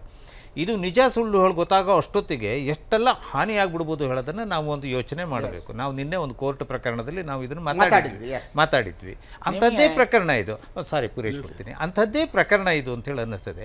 ಈಗ ರಾಜಕೀಯದಲ್ಲಿ ಹಣವನ್ನು ಕೇಂದ್ರದಲ್ಲಿರೋ ಅಧಿಕಾರದಲ್ಲಿರೋ ಪಕ್ಷಕ್ಕೆ ಅಥವಾ ಅಧಿಕಾರದಲ್ಲಿ ಇಲ್ಲದೆ ಇರೋ ಪಕ್ಷಕ್ಕೆ ರಾಜಕೀಯ ಪಕ್ಷಗಳು ದುಡ್ಡನ್ನು ಚುನಾವಣಾ ನಿಧಿ ಅಂತೇಳಿ ಸಂಗ್ರಹಿಸಿ ಕೊಡೋದರಲ್ಲಿ ಯಾವ ವಿಶೇಷವೂ ನನಗೆ ಕಾಣ್ತಾ ಇಲ್ಲ. ಮತ್ತು ಅದರಲ್ಲಿ ಆ, ಅಸತ್ಯವೂ ಇಲ್ಲ. ಕೊಡ್ತಾರೆ. ಅವರವರ ಶಕ್ತಿ ಅನುಸಾರ ಇವರು. ಕೊಟ್ಟಿರ್ತಾರೆ. ಕೊಟ್ಟಿರ್ತಾರೆ. ಅಲ್ಲ ಅವರೇ ಮಾತಾಡ್ಕೊಂಡು ಅವ್ರ ನಾಯಕರೇ ಮಾತಾಡ್ಕೊಂಡಿದ್ದಾರೆ. ನೋಡಿ ಒಂದ ಒಂದು ಇವರೆಲ್ಲ ಮಂತ್ರಿಗಳು ಪ್ರಧಾನ ಮಂತ್ರಿಗಳು ಆಗಬೇಕಾದ್ರೆ ಎರಡು ಓತನ್ನ ತೆಗೆದುಕೊಳ್ತಾರೆ ಒಂದು ಸಂವಿಧಾನವನ್ನ ಎತ್ತಿಡುತ್ತೇವೆ ಅಂತೇಳಿ. ಎರಡನೇದು ನಾನು ಮಂತ್ರಿಯಾಗಿಯೋ ಅಥವಾ ಪ್ರಧಾನ ಮಂತ್ರಿ ಆಗೋ ನನ್ನ ಅವಗಾಹನೆಗೆ ಬರ್ತಕ್ಕಂಥ ಯಾವುದೇ ಮಾಹಿತಿಗಳನ್ನ ರಹಸ್ಯ ಪಾಲನೆ. ರಹಸ್ಯವನ್ನ ಪಾಲನೆ ಮಾಡ್ತೇವೆ ಅನ್ನೋಂಥದ್ದನ್ನ ಏನು ಯಾರಿಗೂ ಬಿಟ್ಟುಕೊಡೋದಿಲ್ಲ ಅಂತ ಹೇಳಿ ಪ್ರತಿಜ್ಞೆ ಸ್ವೀಕಾರ ಮಾಡಿರ್ತಾರೆ. ಸೊ ಬಹುಶಃ ಇದು ಇವತ್ತು ಸೋರಿಕೆ ಆಗಿದೆ ಅಂತ ಹೇಳಿದ್ರೆ ಫೈನಾನ್ಸ್ ಮಿನಿಸ್ಟ್ರಿ ಈ ದೇಶದ ಪ್ರೈಮ್ ಪ್ರೈಮ್ ಫೈನಾನ್ಸ್ ಮಿನಿಸ್ಟರ್ ಆಗಿ ಮುಂದುವರಿಯಲಿಕ್ಕೆ ಅರ್ಹತೆ ಕಳ್ಕೊಳ್ತಾರೆ.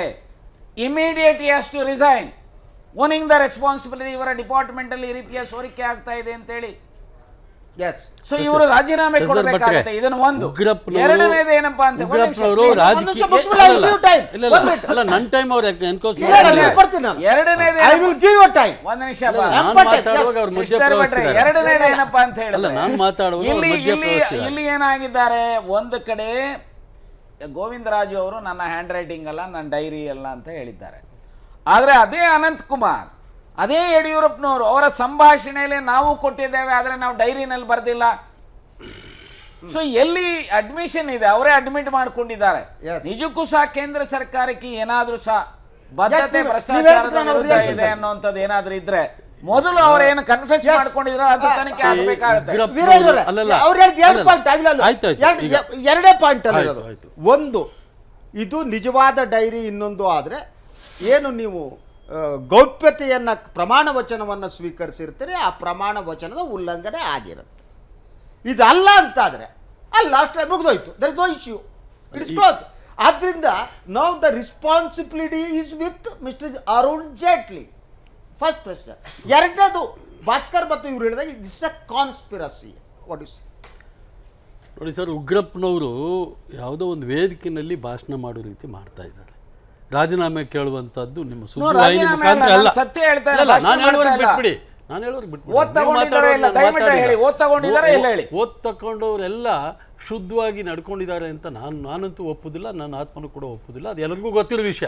ಇಲ್ಲಿ ಇಲ್ಲಿ ಈ ವಾಹಿನಿನ ಉಪಯೋಗಿಸ್ಕೊಂಡು ಅವ್ರು ರಾಜೀನಾಮೆ ಕೊಡಬೇಕು. ಯಾವ ಸಂದರ್ಭದಲ್ಲಿ ಹಕ್ಕಿದೆ ಹಕ್ಕಿದೆ ಈಗ ನಾವು. ನಾವು ಕುಳಿತಿರ್ತಕ್ಕಂಥದ್ದು ಕಪ್ಪದ ಬಗ್ಗೆ ಅನ್ನೋದನ್ನು ಅರ್ಥ ಮಾಡ್ಕೋಬೇಕು ಕಪ್ಪದ ಬಗ್ಗೆ ಸತ್ಯಾಸತ್ಯತೆ ಚರ್ಚೆ ಮಾಡೋದಕ್ಕೋಸ್ಕರ ನಾವಿಲ್ಲಿ ಇಲ್ಲಿ Yes. ಈ ಕೋಟ್ ಮಾಡಿದ್ರೆ ಅವರು ಶಾರದ್ದು ಬಿರ್ಲದು ಅದೆಲ್ಲ. ಅದೇ ರೀತಿ ಇದು ಆಗುತ್ತೆ. ಅದು ಬೇರೆ ವಿಷಯ. ಆದರೆ ಇಲ್ಲಿ ಚರ್ಚೆ ಇರ್ತಕ್ಕಂಥದ್ದು ಸುದ್ದಿ ಹರಡಾಡ್ತಾ ಇದೆ. ಜನಮಾನಸದಲ್ಲಿ ಬರ್ತಾ ಇದೆ. ಅದು ಬೇಕು ಆಮೇಲೆ ಡೈರಿನಲ್ಲಿ. ಡೈರಿನಲ್ಲಿ ಯಡಿಯೂರಪ್ಪನವರು ಗೌಪ್ಯವಾಗಿ ಒಂದು ಸಾವಿರ ಕೋಟಿ ಅಂದ್ರು. ಅದರ ವಿವರಣೆ ಕೂಡ ಇವತ್ತು ಬಂದಿದೆ. ಅಂದ್ರೆ ಎಲ್ಲೋ ಒಂದು ಕಡೆ ಜನರ. ಮನಸ್ಸಿನಲ್ಲಿ ನೀವು ಎಪ್ ನಿಮ್ ಪ್ರಾಮಾಣಿಕತೆ ನಾನು ಅಪ್ರಿಸಿಯೇಟ್ ಮಾಡ್ತೀನಿ. ನೀವು ಎಡ್ಮಿಟ್ ಮಾಡಿದ್ರಿ. ಸೊ ಏನು ಪ್ರಧಾನಿ ಕೇಸ್ ಆಗಿ ಕೇಸು ಬಿದ್ದೋಗುತ್ತೆ ಇದೇನು ಉಳಿಯಲ್ಲ ಮೊದಲನೇ ಇದ್ದು. ಎರಡನೇದು ಅದ್ರ ಬದಲು ಜನಮಾನಸದಲ್ಲಿ ಇರುತ್ತೆ. ನಿಮಗೆ ಜನಮಾನಸದಲ್ಲಿ ಇದು ಇರಬೇಕು ರಾಜಕೀಯ ಲಾಭ ಸಿಗಬೇಕು ಉಳಿದೆಲ್ಲ ಒಂದೇ. ಇಲ್ಲ ಇಲ್ಲ.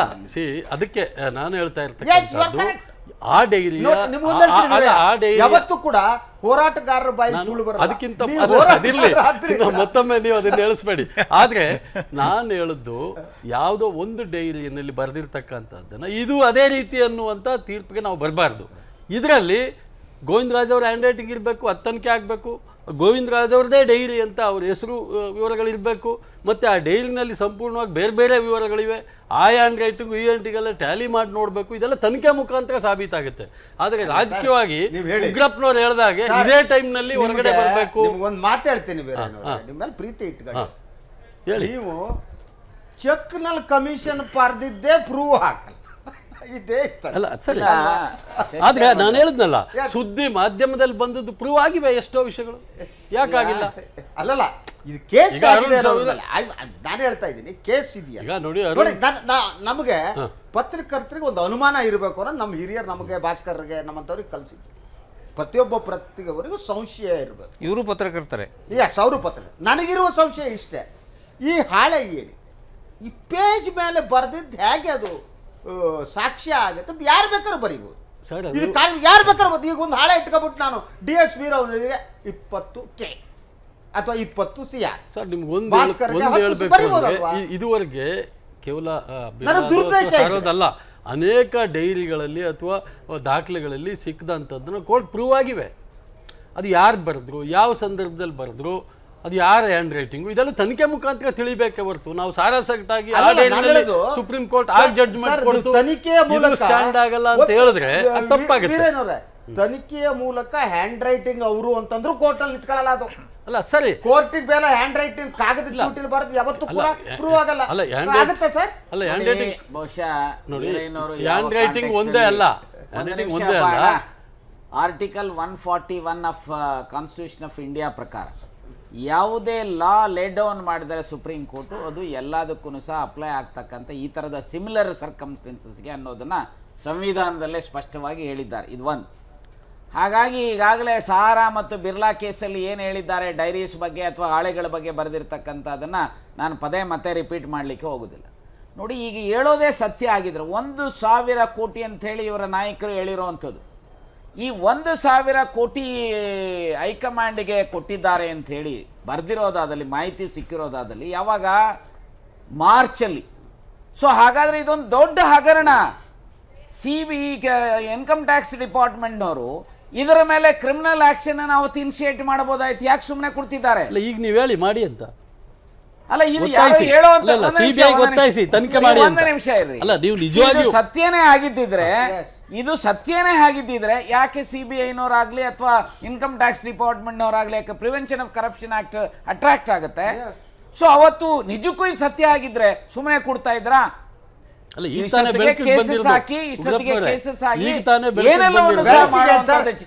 ಯಾರು?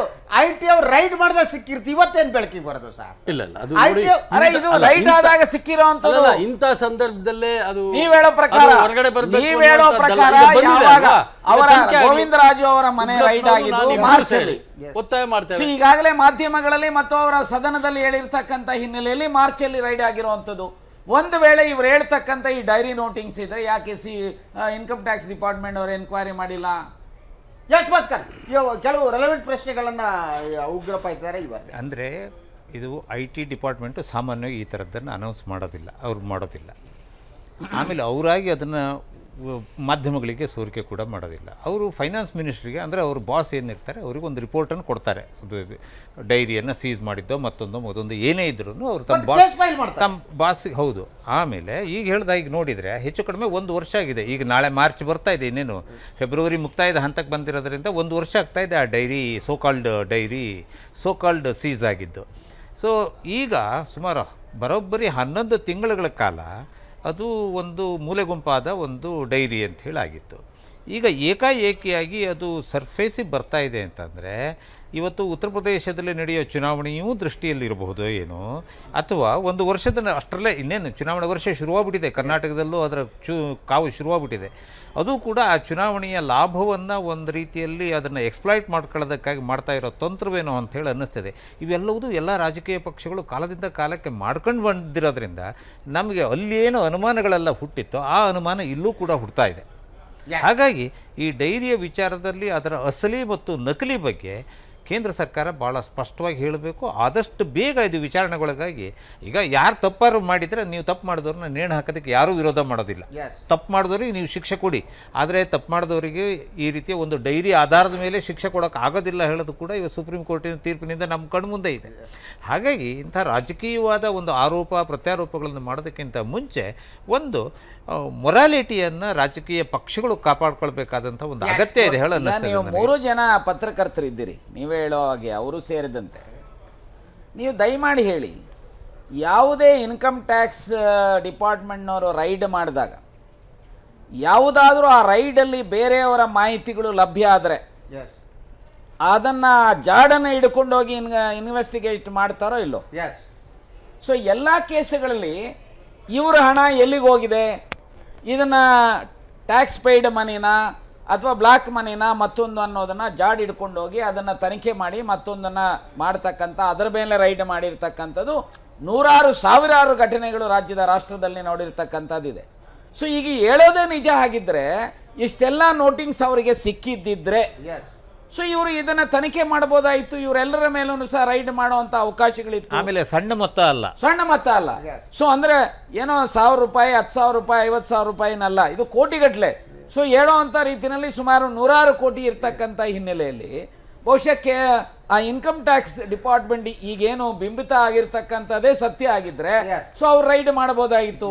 ಮಾಡದೇ ಇರ್ತಕ್ಕಂಥದ್ದನ್ನು ನೋಡಿದ್ರೆ ಇದು ಎಲ್ಲೋ ಒಂದು ಕಡೆ ರಾಜಕಾರಣದ ದೃಷ್ಟಿಯಿಂದ ಸೃಷ್ಟಿಯಾಗಿರ್ತಕ್ಕಂಥ ಒಂದು ಸುಳ್ಳು ದಾಖಲಾತಿ ಅನ್ನೋವಂಥದ್ದು. ನಾವು ಯಾವಾಗ ಗೋವಿಂದರಾಜುರವರ ಹೇಳಿಕೆ ನೋಡಾದ ಮೇಲೆ ಸೊ ಅವರು ನನ್ನ ಹ್ಯಾಂಡ್ ರೈಟಿಂಗ್ ಅಲ್ಲ ನನ್ನ ಡೈರಿ ಅಲ್ಲ ಅಂತ ಹೇಳಿ ಸ್ಪಷ್ಟಪಡಿಸಿದ ಮೇಲೆ ನಾನು ಸ್ಪಷ್ಟವಾಗಿ ಹೇಳಿಕೆ ಬಯಸ್ತೇನೆ. ಎಲ್ಲೋ ಒಂದು ಕಡೆ ಯಡಿಯೂರಪ್ಪನವರು ಮತ್ತು ಕೇಂದ್ರ ಸರ್ಕಾರ ಮತ್ತು ಇನ್ನಿತರ ಸ್ನೇಹಿತರುಗಳು ಕೆಲವು ಮಾಧ್ಯಮ ಸ್ನೇಹಿತರುಗಳು ಬಹುಶಃ ಸೇರಿಕೊಂಡು ಈ ರೀತಿಯ ಒಂದು ಸೃಷ್ಟಿ ಮಾಡಿರ್ತಕ್ಕಂಥ ಅವಕಾಶಗಳು ಹೆಚ್ಚಿರುವ ಇರಬಹುದು ಅಂತೇಳಿ ನಾ ಭಾವಿಸ್ತೀನಿ. ಆದರೆ ನಾನು ಇಲ್ಲಿ ಒಂದು ಒಂದು ಒಂದು ಸಣ್ಣ ಒಂದು ಉದಾಹರಣೆ ಹೇಳಿ ನಾನು ಇಲ್ಲಿ ಕುಯಿತು ನೀವು ಮುಂದುವರಿಸ್ಬೋದು ಇತ್ತೀಚೆಗೆ ಒಬ್ಬರು ಐ ಎ ಎಸ್ ಅಧಿಕಾರಿ ಕರ್ನಾಟಕ ಸೇವೆಯಲ್ಲಿದ್ದರು ಒಬ್ಬರು ನಿವೃತ್ತಿ ಆದರು ಅದಕ್ಕಿಂತ ಮುಂಚೆ ಅವ್ರ ಮೇಲೆ ಒಂದು ರೈಡ್ ನಡೀತು ಇನ್ಕಮ್ ಟ್ಯಾಕ್ಸ್ ದಾಳಿಯೇ ನಡೀತು. ಅವರು ಒಂದು ಹೆಸರನ್ನು ಲಿಸ್ಟನ್ನು ಕೊಟ್ಟರು ತಮಗೆ ಅಂದರೆ ಒಂದು ದೇವಸ್ಥಾನ ಕಟ್ಟಿಸಿದ್ರು ಆ ದೇವಸ್ಥಾನದಲ್ಲಿ ಬೋರ್ಡ್ ಹಾಕ್ಬಿಟ್ಟಿದ್ರು ಮೇಲಿಂದ ಕೆಳಗಡೆವರೆಗೆ. ಈ ಶಶಿಧರ ಭಟ್ ಕೊಟ್ಟಿದ್ದೆಷ್ಟು ಭಾಸ್ಕರ್ ರಾವ್ ಕೊಟ್ಟಿದ್ದೆಷ್ಟು ಉಗ್ರಪ್ಪನವ್ರು ಕೊಟ್ಟಿದ್ದೆಷ್ಟು ಹೇಳಲ್ಲ ಹೀಗೆ ಲಿಸ್ಟ್ ಹಾಕ್ಬಿಟ್ಟಿದ್ದಾರೆ. ಅವ್ರು ಹೇಳಿದರು ನನಗೆ ಇಂತಿಂಥವರಿಂದ ನಾನು ಕಾಣಿಕೆಯನ್ನು ತಗೊಂಡು ಈ ದೇವಸ್ಥಾನವನ್ನು ಕಟ್ಟಿದ್ದೀನಿ ಅಂತ ಹೇಳಿ ಹೇಳ್ಬಿಟ್ರು. ಇನ್ಕಮ್ ಟ್ಯಾಕ್ಸ್ ನೀವು ಹೇಳಿದ್ರಲ್ಲ ರೈಡ್ನ ಇನ್ಕಮ್ ಟ್ಯಾಕ್ಸ್ನವರು ತಿರುಗಿ ಅವ್ರು ಯಾರ್ಯಾರಿಂದ ಅವರಿಗೆ ದುಡ್ಡು ಬಂದಿದೆ ಹೇಳಿದ್ರು ಅವ್ರನ್ನೆಲ್ಲರನ್ನೂ ಅಪ್ರೋಚ್ ಮಾಡ್ತಾರೆ. ಅವ್ರನ್ನ ಅಪ್ರೋಚ್ ಮಾಡಿದಾಗ ಅವ್ರು ಹೇಳ್ತಾರೆ ನಾವು ಕೊಟ್ಟೇ ಇಲ್ಲ ನಮ್ಗೆ ಗೊತ್ತೇ ಇಲ್ಲ ಅದು ಅಂಥೇಳಿ. ಸೊ ಅಂದರೆ ಆವಾಗ ಅಲ್ಟಿಮೇಟ್ಲಿ ಅದು ಆ ಅಧಿಕಾರಿಯ ಮೇಲೆ ತಿರುಗತ್ತೆ ಮುಂದಿನ ಕತೆ ಅದನ್ನು ಮುಂದೆ ನಡೆಯುತ್ತೆ. ಅಂದರೆ ಒಂದು ಯಾರೋ ಒಬ್ಬರಿಗೆ ಒಂದು ಸಾವಿರ ಎರಡು ಸಾವಿರ ಮೂರು ಸಾವಿರ ಆದರೆ ಬೇಡೋದು.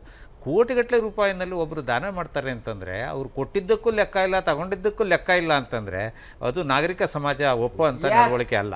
ಎಸ್ ಪ್ರಿಯ ವೀಕ್ಷಕರ ಏನೇ ಇರಲಿ ಎಸ್ ಇಂಥ ಪ್ರಕರಣಗಳಿಗೆ ಏನು ಸೃಷ್ಟಿ ಮಾಡ್ತವೆ ಅಂತ ನಿನ್ನೆ ನಾವು ಯಾವುದೋ ಒಂದು ಪ್ರಕರಣದಲ್ಲಿ ನಾವು ಮಾತಾಡ್ತಾ ಇದ್ವಿ. ಅದು ಏನು ರಾಘವೇಶ್ವರ ಭಾರತಿ ಅವ್ರ ಪ್ರಕರಣ ಏನು? ಆ, ಪ್ರಕರಣಕ್ಕೆ ಸಂಬಂಧಪಟ್ಟಾಗ ಆ ಹೆಣ್ಮಗಳು ಹದಿನಾಲ್ಕು ಇಪ್ಪತ್ತ್ಮೂರು ದಿನಗಳ ಕಾಲ ಜೈಲಲ್ಲಿದ್ದಲ್ಲ. ಆ ನೋವಿಗೆ ಯಾರು ಉತ್ತರ ಹೇಳುವವರು ಅಂತ ಮಾತನಾಡಿ. ಇದೇ ಪ್ರಕರಣಗಳಿಗೆ ಹೀಗಿದ್ರೆ ಈ ಆರೋಪಗಳು ಇಂಥ ಆರೋಪಗಳು ಏನಾಗ್ತವೆ ಅಂದರೆ ಏನನ್ನೋ ಬೇರೆ ರೀತಿಯ ವಾತಾವರಣ ಸೃಷ್ಟಿಸ್ತವೆ. ರಾಜಕಾರಣಿಗಳಿಗೆ ಅದೇ ಬೇಕಾಗುತ್ತೆ. ನಾವು ಮಾಧ್ಯಮದವ್ರು ಸಿಕ್ಕ ತಕ್ಕಣ ಹಾಕಿ ಮಲಗಿಸ್ಬಿಟ್ಟು ಇವರೆಲ್ಲ ಕಳ್ಳರು ಸುಳ್ಳರು ಆಯೋಗ್ಯರು ಕಾಸು ಹೊಡೆದವರು ಅಂತ ಹೇಳ್ಬಿಟ್ಟು ಚರ್ಚೆ ಮಾಡ್ತಾ ಹಾಸ್ಕೊಂಡು ಹೊಡೆದ್ಬಿಟ್ಟು ತೀರ್ಮಾನ ಕೊಟ್ಟು ಹೊರಟೋಗ್ಬಿಡ್ತೀವಿ ನಂತರ ಅದು ಪ್ರೂವ್ ಆಗದೇ ಇದ್ದರೆ ಅವ್ರಿಗೆ ನಾವು ಮಾಡುವ ಡ್ಯಾಮೇಜ್ ಇದೆಯಲ್ಲ ಆ ಡ್ಯಾಮೇಜಿಗೆ ಪರಿಹಾರ ಏನು ಸೊ ಇದಕ್ಕೆ ಒಂದು ಹೆಣ್ಣುಮಗಳು ಮಗಳು ಏನು ತುಟಿ ಕಚ್ಚಿದ್ರು ಅಂತ ಹೇಳಿ ಎಲ್ಲ ಇದರಲ್ಲಿ ತೋರಿಸಿ ಕೊನೆಗೆ ಬಾವಾ ಸು ನಾದನಿನೇ ಸೇರಿ ಕಾನ್ಸ್ಪಿರಸಿ ಮಾಡಿದ್ರು ಅಂತ ಹೇಳಿ ಇಲ್ಲಿ ಇಲ್ಲೇ ಬೆಂಗಳೂರಲ್ಲೇ ನಡೆದಂಥದ್ದು. ಆಮೇಲೆ ಇನ್ಯಾವುದೋ ಕ್ಲಬ್ ಇಲ್ಲ ಈ ತರದ ಸುದ್ದಿಗಳು ಅಲ್ಲ ಏನಾರು ಹೇಳ್ತೀರಾ? ಅಲ್ಲ ನಾನು ಹೌದು ಖಂಡಿತ. ಈಗ ಈ ಥರದ ಸುದ್ದಿಗಳು ಇದೇನು ಹೊಸದಲ್ಲ. ದೇವರಾಜರ್ಸ್ ಅವ್ರ ಮೇಲೆ ಇತ್ತು ಬಂಗಾರಪ್ಪನವ್ರ ಮೇಲೆ ಇತ್ತು ಅವೆಲ್ಲವೂ ಕೂಡ ಏನು ಸಾಕ್ಷ್ಯಾಧಾರಗಳು ಬಂದವಲ್ಲ ಸುದ್ದಿ ಮಾಧ್ಯಮದಲ್ಲಿ ಬಂದ ವಿಷಯಗಳ ಬಗ್ಗೆ ತನಿಖೆ ಆಗಿ ಆಮೇಲೆ ಅವು ಡಿಸ್ಪ್ಲೂ ಆಗಿರ್ಬೋದು. ಆದರೆ ಜನರ ಮೇಲೆ ಜನರ ಮನಸ್ಸಿನಲ್ಲಿ ಡ್ಯಾಮೇಜ್ ಅದ ಎಲ್ಲ ಕಾಲದಲ್ಲೂ ಅದು ನಡೆದಿದೆ. ಹಾಗಾಗಿ ನಾನು ಹೇಳೋದು ಅದು ಸಾರಾಸಗಟಾಗಿ ಅದು ಹಾಗೆ ಇಲ್ಲ. ಅವ್ರದೇ ಡೈಲಿ ಎಲ್ಲ ಅನ್ನುವಂಥದ್ದು ಇದೆಯಲ್ಲ ಆ, ಅದೆಲ್ಲ ಒಂದು ಕಡೆ ರಾಜಕೀಯಕ್ಕೆ ಉತ್ತರ ಆಗ್ತದೆ. ಎಸ್ ಅದನ್ನ ಯಶಸ್ವಿಯಾಗಿ ಉಗ್ರಪ್ಪ ಎಸ್ ಎಸ್ ಪ್ರಿಯ ವೀಕ್ಷಕರೇ ಏನೇ ಇರಲಿ ಬಿ ಜೆ ಪಿಯ ಹಿರಿಯ ನಾಯಕರಾದ ಯಡಿಯೂರಪ್ಪನವರು ಅನಂತಕುಮಾರ್ ವೀರಯ್ಯನವರು ಡೈರಿ ಇಟ್ಕೊಳ್ಳದಿರಲಿ ಅಂತ ಆಶಿಸ್ತಾ ಮಹಾರಾಷ್ಟ್ರದ ಸ್ಥಳೀಯ ಸಂಸ್ಥೆಗಳಿಗೆ ನಡೆದ ಚುನಾವಣೆಯಲ್ಲಿ ಬಿ ಜೆ ಪಿ ಮೇಲುಗೈ ಸಾಧಿಸಿದೆ. ಬೃಹತ್ ಮುಂಬೈ ಮಹಾನಗರ ಪಾಲಿಕೆಯಲ್ಲಿ ಎಂಬತ್ತೊಂದು ವಾರ್ಡ್ಗಳನ್ನು ಗೆಲ್ಲುವ ಮೂಲಕ ಬಿ ಜೆ ಪಿ ಎರಡು ಸ್ಥಾನವನ್ನು ಗಳಿಸಿತು. ಹಿಂದಿನ ಚುನಾವಣೆಯಲ್ಲಿ ಮೂವತ್ತೈದು ಸ್ಥಾನಗಳು ಹತ್ರ ಇತ್ತು.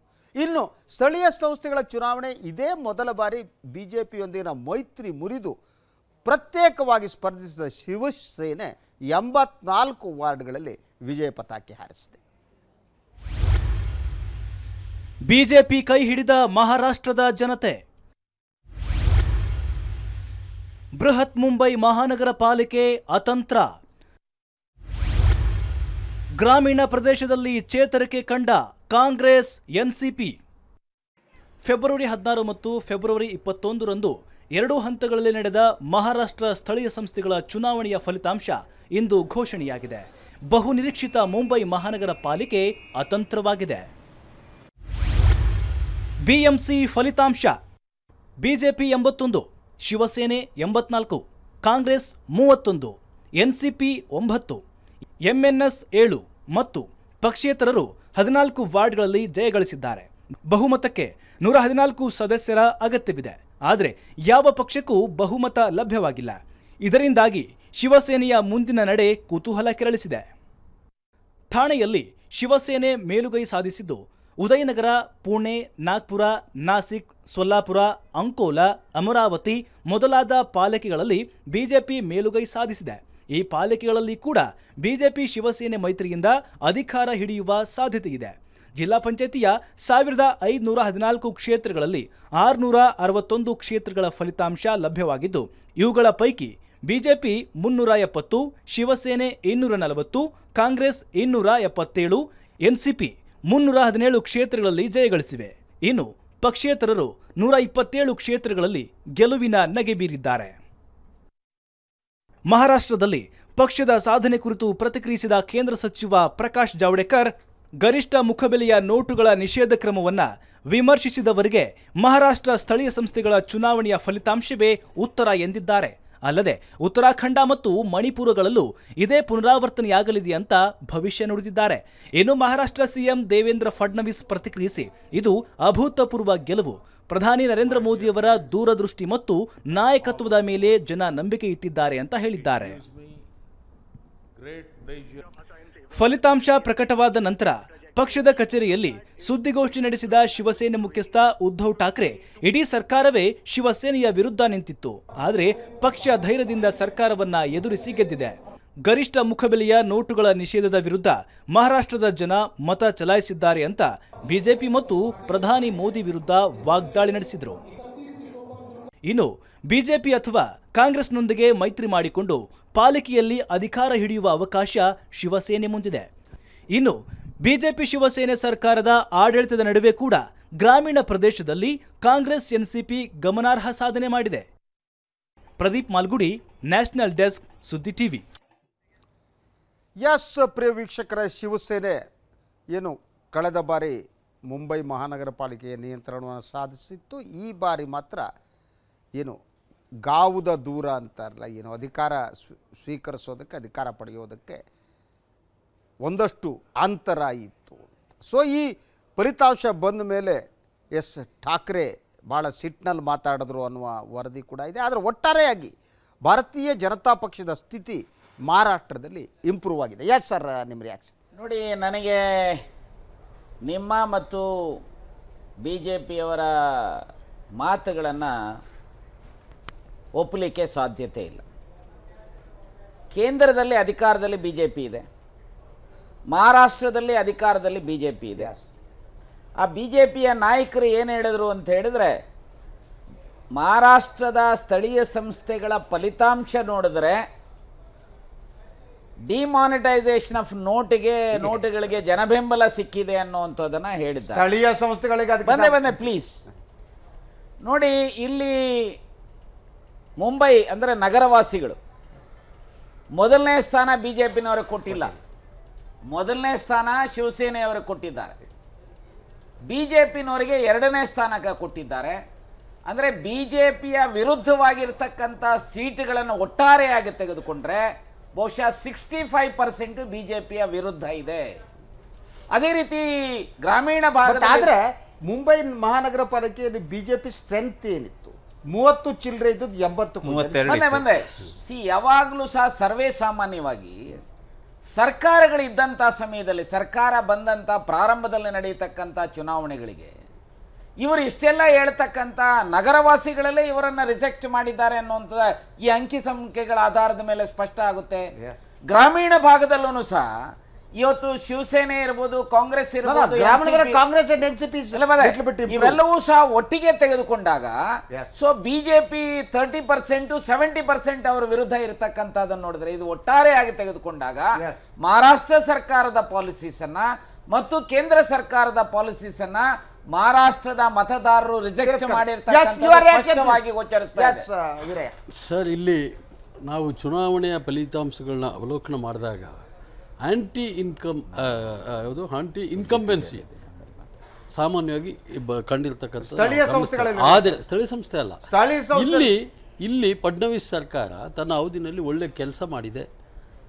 ಡಿಮಾನಿಟೈಸನ್ಸ್ ಕೂಡ ಸಾರಾಸಗಟಾಗಿ ತಿರಸ್ಕರಬೇಕು ತಿರಸ್ಕರಿಸಬೇಕು ಅಂದಿದ್ರೆ ಈ ಚುನಾವಣೆಯಲ್ಲಿ ತಿರಸ್ಕರಿಸ್ಬೋದಾಗಿತ್ತು. ಜನ ಡಿಮಾನಿಟೈಸ್ನ ಒಪ್ಕೊಂಡಿದ್ದಾರೆ ಮೋದಿಯ ಕಾರ್ಯವೈಖರಿನ. ಅವೆಲ್ಲವೂ ಕೂಡ ಪೂರಕವಾದ್ರಿಂದನೇ ಇವತ್ತು ಬಿಜೆಪಿ ಹೆಚ್ಚಿನ ಸ್ಥಾನವನ್ನು ಗಳಿಸಿದೆ. ಬಿಜೆಪಿ ಮತ್ತೊಮ್ಮೆ ಮಹಾರಾಷ್ಟ್ರಿಗರ ಮನಸ್ಸನ್ನು ಗೆದ್ದಿದೆ ಅಂತ ಅಲ್ಲ ಅಲ್ಲಿ ಇದು ಉಗ್ರಪ್ಪನವ್ರು ಹೇಳಿದಾಗ ಅಲ್ಲಿ ಮೂವತ್ತೈದೇ ಪರ್ಸೆಂಟಿಂದ ಅವರು ಆ- ಹೆಚ್ಚು ಜಾಗವನ್ನು ಅಂದರೆ ಆ ಆಡಳಿತ ಪಕ್ಷಕ್ಕೆ ಕೇಂದ್ರ ಮತ್ತು ರಾಜ್ಯದ ಆಡಳಿತ ಪಕ್ಷಕ್ಕೆ ಪರವಾಗಿ ಓಟ್ ಹಾಕಿದ್ದಾರೆ. ಹೇಳೋದನ್ನು ಹೇಳ್ತಾರೆ. ಅದು ಉದ್ದಕ್ಕೂ ಬಂದಿದೆ. ನಾವು ನೆಹರು ಕಾಲದಿಂದ ಇವತ್ತಿನ ಕಾಲದವರೆಗೂ ನಾವು ನೋಡ್ತಿದ್ದೀವಿ. ಈ ದೇಶದ ಅರವತ್ತೈದು ಪರ್ಸೆಂಟ್ ಜನಕ್ಕೆ ಬೇಡದೇ ಇರೋ ಸರ್ಕಾರಗಳೇ ಕೇಂದ್ರದಲ್ಲೂ ರಾಜ್ಯದಲ್ಲೂ ಬಂದು ಕೂತಿರೋದನ್ನು ನಾವು ಉದ್ದಕ್ಕೂ ನೋಡಿದ್ದೀವಿ. ಅದು ಮತ್ತೆ ಈಗ ಪುನರಾವರ್ತನೆ ಆಗಿದೆ, ಮುಂದುವರೆದ ಭಾಗ ಆಗಿದೆ. ಆದರೆ ನನಗನ್ಸೋದೇನು ಅಂತಂದರೆ ಅಲ್ಲಿ ಬಿ ಜೆ ಪಿಯ ಗೆಲುವಿನ ಓಟ ಅದು ಈಗ ಮೂವತ್ತೆರಡು ಇದ್ದಿದ್ದು ಅದರ ಹೆಚ್ಚು ಅಂದರೆ ದುಬ್ಬಟ್ಟಾಗಿ ದುಬ್ಬಟ್ಟಾಗಿದೆ. ಎಂಬತ್ನಾಲ್ಕು ಎಂಬತ್ತೈದು ನೀವು ತೋರಿಸಿದ್ರಿ. ಎಂಬತ್ತೊಂದು. ಗೊತ್ತಾಯ್ತು ಅದಕ್ಕೆ ಮತ್ತು ಶಿವಸೇನೆಗೆ ಇರೋ ಅಂತರ ಬಹಳ ಇಲ್ಲ ಹೇಳಿದ್ರೆ ನಾವು ನೋಡಿ ನಾಲ್ಕೈದು ಸೀಟ್. ಮಾತ್ರ ಇದೆ. ಈಗ ನಾಳೆ ನಡೆಯುವಂಥ ಒಂದು ಏನು ಮೇಯರ್ ಅಥವಾ ಆಡಳಿತ ಸೂತ್ರ ಹಿಡಿಯುವಂಥ ಸಂದರ್ಭದಲ್ಲಿ ಮುಂಬೈ ಮಹಾನಗರ ಪಾಲಿಕೆಯನ್ನು ಬಿಟ್ಕೊಡೋದಕ್ಕೆ ಶಿವಸೇನೆ ಒಪ್ಪೋದಿಲ್ಲ ಯಾವತ್ತಿದ್ರೂ. ಯಾಕೆಂದ್ರೆ ಅವರು ಇಡೀ ದೇಶ ಬಿಟ್ಟು ಇಡೀ ದೇಶ ಬಿಟ್ಟುಕೊಟ್ಟಾರು ಆದರೆ ಮುಂಬೈಯನ್ನು ಬಿಟ್ಕೊಡೋದಿಲ್ಲ ಅವರು. ನೂರ ಹದಿನೇಳು ಜನ ಬೇಕಾಗುತ್ತೆ. ಅದರಲ್ಲೂ ಒಂದನ್ನು ಗಮನಿಸಬೇಕು ಭಾಸ್ಕರ್ ಅವರೇ. ದೇಶದ ಫೈನಾನ್ಷಿಯಲ್ ಕ್ಯಾಪಿಟಲ್ ಸಿಟಿ ಅನ್ನುವಂಥದ್ದನ್ನು ಯಾವುದು? ಮುಂಬೈ. ಮುಂಬೈ ಜನ ನಿಜ ಲಾಸ್ಟ್ ಟೈಮ್ ಮೂವತ್ತೈದು ಇತ್ತು ಇವತ್ತು ಡಬ ಡಬಲ್ ಆಗಿದೆ ಅಥವಾ ಎರಡೂವರೆ ಪಟ್ಟಾಗಿದೆ ಅಂತ ಹೇಳೋದು ಬೇರೆ. ಆದರೆ ಈ ರೀತಿಯ ಇವರು ವರ್ಣನೆ ಮಾಡೋ ರೀತಿಯಲ್ಲಿ ಕ್ರಾಂತಿಕಾರಕವಾದಂತಹ ಬದಲಾವಣೆಯನ್ನ ಆರ್ಥಿಕ ಕ್ಷೇತ್ರದಲ್ಲಿ ತಂದಿದ್ದೇವೆ. ನಿಜಾನೇ. ನಿಜಾನೇ ಆಗಿದ್ದಿದ್ರೆ ಬಹುಶಃ ಜನ ಮೆಜಾರಿಟಿ ಕೊಡಬೇಕಾಗಿತ್ತು. ಮೆಜಾರಿಟಿ ಕೊಡದೇ ಇರೋದನ್ನ ನೋಡಿದ್ರೆ ಬಹುಶಃ ಜನ ಇವತ್ತು. ಬಿಜೆಪಿಯ ಸ್ಟ್ಯಾಂಡ್ ಅನ್ನ ತಿರಸ್ಕಾರ ಮಾಡಿದ್ರೆ ಅಲ್ಲಿ ಅಲ್ಲಿ ಒಂದಂತೂ ನಿಜ. ಈಗ ಅಲ್ಲಿ ಪಕ್ಷೇತರರಿಗೆ ಸುಗ್ಗಿಯ ಕಾಲ ಪ್ರಿಯ ಮತ್ತು ಕುತೂಹಲ. ಯಾರು ಶಿವಸೇನೆ ಮತ್ತು ಬಿಜೆಪಿ ನಡುವಿನ ಸಂಬಂಧ ಇದೆಯಲ್ಲ? ಈ ಫಲಿತಾಂಶದ ನಂತರ ಏನಾಗುತ್ತೆ ಆದ್ರೆ ಬಟ್ರೆ ನೀವು ಬಟ್ರೆ ನೀವು ಅಲ್ಲ. ಭಟ್ರೆ ನೀವು ಅಲ್ಲಿ ಹೇಳ್ಬೇಕಾಗಿರೋದು ಇನ್ನೊಂದಿದೆ. ಕಳೆದ ಸಾರಿ ವಿಧಾನಸಭೆ ಚುನಾವಣೆ ಇದು ಮೊದಲೇ ಬಾರಿ ಅಲ್ಲ ಅವರು ದೂರ ಆಗಿ ನಿಂತು ಇದಾಗಿದ್ದು. ವಿಧಾನಸಭೆ ಚುನಾವಣೆಯಲ್ಲಿ ಕೂಡ ಬಿಜೆಪಿ ಮತ್ತು ಶಿವಸೇನೆ ಹೊಂದಾಣಿಕೆ ಇರಲಿಲ್ಲ. ಅವು ಆ ನಂತರ ಒಂದಾದ ಒಂದಾದವು. ಅಂತ ಒಂದು ಸ್ಥಿತಿ ಈಗಲೂ ಬಂದ್ರೆ ಆಶ್ಚರ್ಯ ಏನೂ ಇಲ್ಲ. ಅದೇನು ಅದೇನೋ ಅಂತಾರೆ ಗೊತ್ತಾ? ವಿದುರ ಮತ್ತು ಅಲ್ವಾ?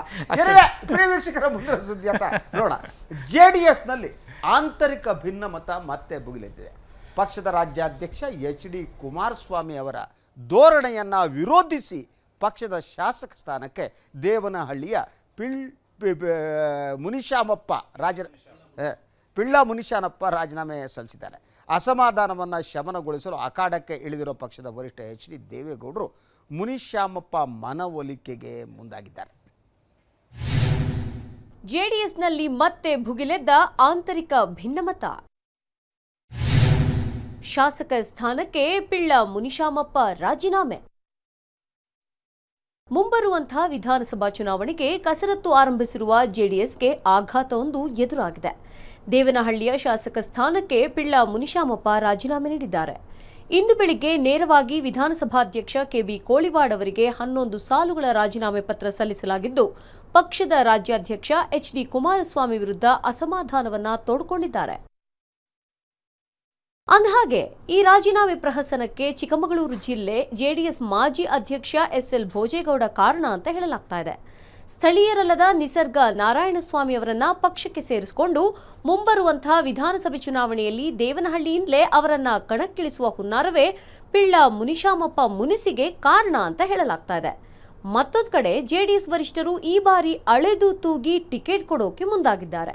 ಮೂವತ್ಮೂರು ಶಾಸಕರಿಗೂ ಟಿಕೆಟ್ ನೀಡೋದಾಗಿ ಎಚ್ ಡಿ ಕೆ ಹೇಳಿದ್ರೂ ಕೂಡ ಆಂತರಿಕ ಚಿತ್ರಣವೇ ಬೇರೆ ಅಂತ ಹೇಳಲಾಗ್ತಾ ಇದೆ. ಇನ್ನು ರಾಜೀನಾಮೆ ಸಲ್ಲಿಕೆ ಬಳಿಕ ಪಿಳ್ಳ ಮುನಿಶಾಮಪ್ಪ, ಜೆಡಿಎಸ್ ರಾಜ್ಯಾಧ್ಯಕ್ಷ ಎಚ್ ಡಿ ಕುಮಾರಸ್ವಾಮಿ ಕುರಿತು ಬಹಿರಂಗವಾಗಿ ಅಸಮಾಧಾನವನ್ನ ಹೊರಹಾಕಿದ್ದಾರೆ. ನನ್ನೊಂದಿಗೆ ಕುಮಾರಸ್ವಾಮಿ ಸರಿಯಾಗಿ ನಡೆದುಕೊಂಡಿಲ್ಲ. ಕ್ಷೇತ್ರದ ಸಮಸ್ಯೆಗಳಿಗೆ ಸರಿಯಾಗಿ ಸ್ಪಂದಿಸಿಲ್ಲ ಅಂತ ಹೇಳಿದ್ದಾರೆ. ನಿಸರ್ಗ ನಾರಾಯಣಸ್ವಾಮಿ ಸೇರಿದ್ರೆ ಏನಾಯ್ತು? ಯಾರನ್ನ ಸೇರಿಸ್ಕೋಬೇಕು? ಬೇಡ ಅಂತ ನನಗ್ ಗೊತ್ತು ಅಂತ ಬಾಗಿಲು ಹಾಕೊಂಡ್ರು. ಇದರಿಂದ ನೊಂದು ನಾನಿಂದು ಬೆಳಿಗ್ಗೆ ಅವರ ಮನೆಯಲ್ಲಿಯೇ ಪಕ್ಷದ ಪ್ರಾಥಮಿಕ ಸ್ಥಾನಕ್ಕೆ ರಾಜೀನಾಮೆ ಕೊಟ್ಟಿದ್ದೀನಿ. ಬಳಿಕ ಸ್ಪೀಕರ್ಗೆ ಹೋಗಿ ಶಾಸಕ ಸ್ಥಾನಕ್ಕೆ ರಾಜೀನಾಮೆ ನೀಡಿರುವುದಾಗಿ ತಿಳಿಸಿದರು. ಇನ್ನು ಇದೇ ವೇಳೆ ಸಕ್ರಿಯ ರಾಜಕಾರಣದಿಂದ ನಿವೃತ್ತಿ ಪಡೆಯುವುದಾಗಿ ಹೇಳಿದ್ದಾರೆ. ಯಾವುದೇ ಪಾರ್ಟಿಗೆ ನಾನು ಹೋಗೋದಿಲ್ಲ ಇದು ದಳ ನಲವತ್ತು ವರ್ಷದಿಂದ ಮೂವತ್ತು, ಮೂವತ್ತೆರಡು ವರ್ಷದಿಂದ ನಾನು ಇದ್ದೆ. ಮಂಡಲ ಪಂಚಾಯತ್ ಮೆಂಬರ್, ಜಿಲ್ಲಾ ಪಂಚಾಯತ್ ಮೆಂಬರ್ ಆಗಿ ಎಂ ಎಲ್ ಆಗಿದ್ದೆ. ಯಾರು, ಯಾವ ರೀತಿ ನಾವು ಋಣ ತೀರ್ಸ್ಕೊಂಡು ಬಿಟ್ಟಾಗ ಗೊತ್ತಿಲ್ಲ. ನಮ್ಗೆ ಯಾವ ರೀತಿ ಹಂಗೆ ನೋಡ್ಕೊಂಡು ಹೋಗ್ಬೇಕು ಗೊತ್ತಿಲ್ಲ. ನಾವು ನಮ್ಮ ತಂದೆ ತಾಯಿ ಹುಟ್ಟಿದಂಥ ಜನ ನಾವು ಒಂದು ಪಕ್ಷದಲ್ಲಿದ್ದೆ ಅದೇ ಪಕ್ಷದಲ್ಲಿದ್ದೀನಿ ನಾನು ನಾನು ಯಾವುದೇ ಸಕ್ರಿಯ ರಾಜಕಾರಣದಿಂದ ದೂರ ಉಳ್ಕೊಂಡು ಪಿಳ್ಳಸ್ವಾಮಿ ರಾಜೀನಾಮೆ ಕುರಿತು ಚಿತ್ರದುರ್ಗದಲ್ಲಿ ಪ್ರತಿಕ್ರಿಯಿಸಿರೋ ಜೆಡಿಎಸ್ ರಾಜ್ಯಾಧ್ಯಕ್ಷ ಎಚ್ ಡಿ ಕುಮಾರಸ್ವಾಮಿ ಪಕ್ಷದಲ್ಲಿ ಸಣ್ಣ ಗೊಂದಲ ಉಂಟಾಗಿದೆ. ಶೀಘ್ರವೇ ಎಲ್ಲವೂ ಸರಿಯಾಗುತ್ತೆ ಅಂತ ಹೇಳಿದ್ರು. ಏನಿದೆ ಅದು ಒಂದು ಸಣ್ಣ ಒಂದು ಗೊಂದಲದಿಂದ ಅವರು ದುಡುಕಿ ರಾಜೀನಾಮೆ ಕೊಡ್ತಕ್ಕಂಥ ನಿರ್ಧಾರ ಮಾಡ್ಕೊಂಡಿದ್ದಾರೆ. ಆದರೆ ಅದನ್ನು ವಾಪಸ್ ಪಡೀತಕ್ಕಂಥದ್ದಕ್ಕೆ ಈಗಾಗಲೇ ಸೂಚನೆ ಕೊಟ್ಟಿದ್ದೇವೆ. ಅವ್ರಿಗೆ ಮನವಿನೂ ಮಾಡಿದ್ದೇನೆ. ಯಾವುದೇ ಸಮಸ್ಯೆ ಇಲ್ಲ. ಅದೆಲ್ಲ ಬಗೆಹರಿಯುತ್ತೆ. ನಾರಾಯಣ ಸ್ವಾಮಿ, ಅವರಿಗೆ ಯಾವುದೇ ರೀತಿಯಲ್ಲಿ ಮುಂದಿನ ಅಭ್ಯರ್ಥಿ ಅಂತೇಳಿ ಯಾರೂ ಅವರಿಗೆ ಭರವಸೆ ಕೊಟ್ಟಿಲ್ಲ. ನಾನೀಗಾಗಲೇ ಹೇಳಿದ್ದೇನೆ, ಇವತ್ತು ನಮ್ಮ ಪಕ್ಷದಲ್ಲಿ ಇರ್ತಕ್ಕಂಥ ಮೂವತ್ತ್ಮೂರು ಶಾಸಕರು ಏನಿದ್ದಾರೆ ನಮ್ಮ ಜೊತೆಯಲ್ಲಿ, ಅವರೆಲ್ಲರಿಗೂ ಟಿಕೆಟನ್ನು ಮುಂದಿನ ಚುನಾವಣೆಗೂ ಕೊಡ್ತೀವಿ ಅಂತಕ್ಕಂಥ ಹೇಳಿದ್ದೇನೆ. ಯಾವುದೇ ಗೊಂದಲ ಯಾರಿಗೂ ಬೇಕಾಗಿಲ್ಲ ಇಲ್ಲಿ. ಇನ್ನು speaker K V Koliwad Pilla Munishamappa ರಾಜೀನಾಮೆ ಸಲ್ಲಿಸಿದ್ದು ಇನ್ನು ರಾಜೀನಾಮೆ ಅಂಗೀಕಾರವಾಗಿಲ್ಲ. ಕಾನೂನು ವಿಧಿವಿಧಾನಗಳ ಬಳಿಕ ಮುಂದಿನ ಕ್ರಮ ಕೈಗೊಳ್ಳೋದಾಗಿ ತಿಳಿಸಿದರು. ದೇವನಹಳ್ಳಿ ಪಿಳ್ಳೆ ಮುನಿಸ್ವಾಮಪ್ಪ ಶಾಸಕರು ಇವತ್ತು ಹನ್ನೊಂದು ಗಂಟೆ ಸುಮಾರಿಗೆ ಮನೆಗೆ ಬಂದು ತಮ್ಮ ರಾಜೀನಾಮೆ ಪತ್ರವನ್ನು ನನಗೆ ಕೊಟ್ಟಿದ್ದಾರೆ. ನಿಯಮಾನುಸಾರ ಅದನ್ನು ನಾನು ಎಕ್ಸಾಮಿನ್ ಮಾಡ್ತಾ ಇದ್ದೀನಿ. ಇನ್ನೂ ಅದನ್ನು ಅಂಗೀಕಾರ ನಾನು ಮಾಡಿಲ್ಲ. ನಿಯಮಾವಳಿಗಳ ಪ್ರಕಾರ ಕೊಟ್ಟಂಥ ರಾಜೀನಾಮೆ ವಾಲಂಟರಿ ಕೊಟ್ಟಿದ್ದಾರೋ ವಿತ್ ಸೇನ್ ಮೈಂಡ್ ಕೊಟ್ಟಿದ್ದಾರೋ, ಅಥವಾ ಅಂಡರ್ ಡಿಪ್ರೆಷನ್ನು ಅಥವಾ ಪ್ರೆಷರು ಅಥವಾ ಡ್ಯೂರೇಷನ್ನು ಅಂಡರ್ ಡ್ಯೂರೇಸು ಅಂತಕ್ಕಂಥ ಎಲ್ಲ ಇದನ್ನು ನಾನು ಎಕ್ಸಾಮಿನ್ ಮಾಡಬೇಕಾಗುತ್ತೆ. ಯಾಕಂದ್ರೆ ಒಬ್ಬ ಜನಪ್ರತಿನಿಧಿ ಆಗಿ ಬಂದಂಥವ್ರು ಎರಡು ಲಕ್ಷ ಜನರ ಪ್ರತಿನಿಧಿಯಾಗಿ ಮತದಾರರ ಪ್ರತಿನಿಧಿಯಾಗಿ ಬಂದಿರ್ತಾರೆ. ಯಾವುದೋ ಒಂದು ಮೋಡ್ನೊಳಗೆ ಬಂದು ನಮಗೆ ಕೊಟ್ಬಿಡ್ಲಿ ಎಕ್ಸೆಪ್ಟ್ ಮಾಡಿಬಿಟ್ರೆ ಪ್ರಜಾಪ್ರಭುತ್ವದಲ್ಲಿ ಅದಕ್ಕೆ ಬೆಲೆ ಇರೋದಿಲ್ಲ. ಪಿಳ್ಳ ಮುನಿಶಾಮಪ್ಪ ಮನವೊಲಿಕೆಗೆ ಜೆಡಿಎಸ್ನ ಇತರ ಶಾಸಕರು ಮುಂದಾಗಿದ್ದಾರೆ. ಶಾಸಕರಾದ ರಾಜಣ್ಣ, ನಾರಾಯಣಗೌಡ ಹಾಗೂ ಮಾಜಿ ಸಚಿವ ಚೆನ್ನಿಗಪ್ಪ ಸಹ ಮನವೊಲಿಸುವ ಪ್ರಯತ್ನಕ್ಕೆ ಕೈ ಹಾಕಿದ್ದು ಯಾವುದೇ ಪ್ರಯೋಜನ ಆಗಿಲ್ಲ. ಇನ್ನು ಜೆಡಿಎಸ್ ವರಿಷ್ಠ ದೇವೇಗೌಡ ಸಹ ಪಿಳ್ಳ ಮುನಿಶಾಮಪ್ಪ ಮುನಿಸನ್ನ ಶಮನ ಮಾಡೋಕೆ ಎರಡು ಮೂರು ಬಾರಿ ಪ್ರಯತ್ನಿಸಿದ್ರೂ ಕೂಡ ಪಿಳ್ಳ ಮುನಿಶಾಮಪ್ಪ ಪಟ್ಟನ್ನ ಸಡಿಸಿಲ್ಲ. ಒಟ್ಟಾರೆ ಮುನಿಶಾಮಪ್ಪ ರಾಜೀನಾಮೆಯಿಂದ ಜೆಡಿಎಸ್ನಲ್ಲಿ ಸಂಚಲನ ಸೃಷ್ಟಿಸಿರೋದಂತೂ ಸುಳ್ಳಲ್ಲ. ಕ್ಯಾಮ್ರಾ ಪರ್ಸನ್ ಬಸವ ಜೊತೆ Sandhya Surabha, political bureau, Suddi TV. Yes ಪ್ರಿಯ ವೀಕ್ಷಕರೇ ಏನು ಜೆ ಡಿ ಎಸ್ನ ಈ ಬೆಳವಣಿಗೆ ಬಗ್ಗೆ ಚರ್ಚೆ ಮಾಡಬೇಕಾಗಿತ್ತು? ಜೆ ಡಿ ಎಸ್ ಪ್ರತಿನಿಧಿ ಜಾಯಿನ್ ಆಗಬೇಕಾಗಿತ್ತು. ಅವ್ರು ಜಾಯಿನ್ ಆಗಿಲ್ಲ. ನಾವೇ ಮಾತನಾಡಬೇಕಿದ್ದು ಆದರೆ ಒಟ್ಟಾರೆ ಜೆ ಡಿ ಎಸ್ನ ಒಳಗಡೆ ಆಂತರಿಕವಾದ ಈ ಬೆಳವಣಿಗೆ ಇದೆ. ಎಲ್ಲ ಸರಿ ಇಲ್ಲ ಅನ್ನೋದನ್ನು ಮಾತ್ರ ಅದು ರಿಪ್ರೆಸೆಂಟ್ ಮಾಡುತ್ತೆ ಅಂತ ಅನಿಸುತ್ತೆ. What is a Ugrappa? ನೋಡಿ ಇದು ಅವರ ಪಕ್ಷದ ಆಂತರಿಕ ವಿಚಾರ. ಬಹುಶಃ ಯಾರನ್ನು ಯಾಕೆ ಸೇರಿಸ್ಕೊಂಡ್ರು ಯಾರನ್ನು ಯಾಕೆ ಬಿಡ್ತಾರೆ ಅನ್ನುವಂಥದ್ದು ನಾನು ಈ ಸಂದರ್ಭದಲ್ಲಿ ಹೇಳಲಿಕ್ಕೆ ಹೋಗೋದಿಲ್ಲ ಆದರೆ ಒಂದು ಸ್ಪಷ್ಟಪಡಿಸ್ತೇನೆ ಜನಾದೇಶ ಕೊಟ್ಟಿರೋದು ಐದು ವರ್ಷ. ಎಸ್ ಈ ಜನಾದೇಶವನ್ನು ಒಂದು ರೀತಿ ಮನಸ ಇಚ್ಛಾ ಬಳಕೆ ಮಾಡಿಕೊಳ್ಳುವಂಥ ಪ್ರವೃತ್ತಿ ಇದೆಯಲ್ಲ ಯಾವುದೇ ರಾಜಕೀಯ ಪಕ್ಷಗಳಿಗಾಗಲಿ ರಾಜಕಾರಣಿಗಳಿಗಾಗಲಿ ಶೋಭೆ ತರ್ತಕ್ಕಂಥದ್ದಲ್ಲ. ನಾರ್ಮಲಿ ರಾಜೀನಾಮೆ ಕೊಡೋದು ಅಂತಂದ್ರೆ ಒಂದು ಸೆಂಟೆನ್ಸ್ ನಾನು ಸ್ವಇಚ್ಛೆಯಿಂದ ರಾಜೀನಾಮೆ ಕೊಡಿದ್ದೇನೆ ಕೊಟ್ಟಿದ್ದೇನೆ. ಇಲ್ಲಿ ದೇ- ಇದ್ರ ಏನು ಗೊತ್ತಾ ಇವರು? ಕುಮಾರಸ್ವಾಮಿ ಮೇಲೆ ಬೇಸರ ಅದು ಇದೆಲ್ಲ ಬರೀತಾರೆ. ಸೊ ಆದರೆ ಇದರಲ್ಲಿ ಹನ್ನೊಂದು ಸಾಲು. ಸೊ ಹನ್ನೊಂದು ಸಾಲುಗಳ ರಾಜೀನಾಮೆಯಲ್ಲಿ ಬಹುಶಃ ಅವರ ಅವರಿಗೆ ಮಾನಸಿಕ ಸ್ಥಿತಿ ಯಾವ ರೀತಿ ಇತ್ತು ಮಾನಸಿಕವಾಗಿ ಹೇಗೆ ನೊಂದಿದ್ರು ಅನ್ನುವಂಥದ್ರ ಹಿನ್ನೆಲೆ ಮುಂದಿನ. ಸ್ಟೋರಿಗೆ ಹೋಗ್ಬೇಕು. ಮಂಗಳೂರದು ಭಾಳ ಇದಿದೆ. ಎಸ್ ಇದು ಇದೇನು ಬೇಕಾಗಿಲ್ಲ ಅವ್ರ ಪಕ್ಷದ ಬಿಟ್ಟು ಅಲ್ಲ ಅಲ್ಲ ಅಷ್ಟಂತೂ ಹೇಳ್ಬೋದು. ಏನಂದ್ರೆ ಸ್ಪೀಕರು ಅದನ್ನೇ ಮೀನಮೇಷ ಮಾಡೋದಕ್ಕೆ ಅವಕಾಶ ಇಲ್ಲ. ಯಾಕೆಂದ್ರೆ ನಿಯಮ ಇದೆ. ತಮ್ಮ ಎದುರಿನಲ್ಲಿ ಅವ್ರು ಸೈನ್ ಮಾಡಬೇಕು. ಅಂತ ಅನ್ನೋದಿದೆ ಅಷ್ಟು ಬಿಟ್ಟರೆ ಇನ್ನೇನೂ ಇಲ್ಲ. ಆದ್ರೆ ಸ್ಪೀಕರ್ ಕೂಡ ಏನೋ ಹೆಲ್ಪ್ ಮಾಡ್ತಾ ಇರೋ ಹಂಗಿದೆ ಮಾಡಿ. ಏನಿದೆ? ಮಂಗಳೂರಿನ ಉಳ್ಳಾಳ ಸಮೀಪ ಕಿಡಿಗೇಡಿಗಳು ಸಿ ಪಿ ಎಂ ಕಚೇರಿಗೆ ಬೆಂಕಿ ಹಚ್ಚಿದ್ದಾರೆ. ಪರಿಣಾಮ ಕಚೇರಿಯಲ್ಲಿದ್ದ ಬ್ಯಾನರ್ ಬಂಟಿಂಗ್ಸ್ ಕಾರ್ಮಿಕರ ಅರ್ಜಿಗಳು ಸುಟ್ಟೋಗಿವೆ. ಶನಿವಾರ ಕೇರಳದ ಮುಖ್ಯಮಂತ್ರಿ ಪಿಣರಾಯಿ ವಿಜಯನ್ ಮಂಗಳೂರಿಗೆ ಆಗಮಿಸ್ ಆಗಮಿಸುವುದನ್ನು ವಿರೋಧಿಸುತ್ತಿರುವವರೇ ಈ ಕೃತ್ಯ ಎಸಗಿದ್ದಾರೆ ಅನ್ನೋದು ಸಿಪಿಎಂ ಆರೋಪ. ಮಂಗಳೂರಿನಲ್ಲಿ ಸಿಪಿಎಂ ಕಚೇರಿಗೆ ಬೆಂಕಿ. ಕೇರಳ ಸಿಎಂ ಮಂಗಳೂರು ಭೇಟಿ ವಿರೋಧಿಸಿ ನಡೆಯಿತ ಕೃತ್ಯ. ಮಂಗಳೂರಿನಲ್ಲಿ ಮತ್ತೆ ಪ್ರಕ್ಷುಬ್ಧ ವಾತಾವರಣ ನಿರ್ಮಾಣವಾಗಿದೆ. ಮಂಗಳೂರಿನ ಉಳ್ಳಾಳ ಸಿಪಿಎಂನ ವಲಯ ಕಚೇರಿಗೆ ಕಿಡಿಗೇಡಿಗಳು ದಾಳಿ ನಡೆಸಿ ಬೆಂಕಿ ಹಚ್ಚಿದ್ದಾರೆ. ಪರಿಣಾಮ ಕಚೇರಿಯಲ್ಲಿದ್ದ ಫ್ಲೆಕ್ಸ್, ಬ್ಯಾನರ್ಗಳು ಮತ್ತು ಹಲವಾರು ದಾಖಲೆಗಳು ಸುಟ್ಟು ಹೋಗಿವೆ. ಬಾಗಿಲನ್ನ ಮುರಿದು ಒಳನುಗ್ಗಿದ ದುಷ್ಕರ್ಮಿಗಳು ಈ ಕೃತ್ಯ ಎಸಗಿದ್ದಾರೆ. ಮುಂಚಾನೆ ಈ ಪ್ರಕರಣ ಬೆಳಕಿಗೆ ಬಂದಿದೆ. ತಕ್ಷಣವೇ ಸ್ಥಳಕ್ಕೆ ಉಲ್ಲಾಳ ಪೊಲೀಸರು ಹಾಗೂ ಡಿಸಿಪಿ ಭೇಟಿ ಕೊಟ್ಟು ಪರಿಶೀಲನೆ ನಡೆಸಿದ್ದಾರೆ. ಶ್ವಾನದಳ ಮತ್ತು ಬೆರಳಚ್ಚು ತಜ್ಞರು ಸ್ಥಳಕ್ಕೆ ಭೇಟಿ ಕೊಟ್ಟು ಪರಿಶೀಲನೆ ನಡೆಸಿದ್ರು. ಇವಾಗ ಒಳಗೆ ನಾವು ಬಂದು ನೋಡುವಾಗ ಒಳಗೆ ನಮ್ಮ ಕೆಲವು ಇದ್ದ ಫ್ಲೆಕ್ಸ್, ಮತ್ತು ನಮ್ಮ ಕೆಲವು ಬಾವುಟ, ಮತ್ತು ನಮ್ಮ ಟಿ ವಿ ಚೇರ್ ಮತ್ತು ನೀರಿನ ಟ್ಯಾಂಕಿ, ಮತ್ತು ಒಂದು ನಮ್ಮ ಫೈಲ್ ಎಲ್ಲ ಇದ್ದ ಕಪಟು ಮತ್ತು ಪ್ಲಗ್ ಫ್ಲ್ಯಾಗು ಬೇನರ್ ಇದನ್ನೆಲ್ಲ ಅದಾಗಿ ಒಳಗೆ ಬಂದು ಬಾಗಿಲು ಹೊಡೆದು ಒಳಗೆ ಹೋಗಿ ಬೆಂಕಿ ಕೊಟ್ಟಿದೆ ಬೆಂಕಿ ಕೃತ್ಯಕ್ಕೆ ವ್ಯಾಪಕ ಖಂಡನೆ. ದುಷ್ಕರ್ಮಿಗಳ ಬಂಧನಕ್ಕೆ ಒತ್ತಾಯಿಸಿ ಸಿಪಿಎಂ ಪ್ರತಿಭಟನೆ.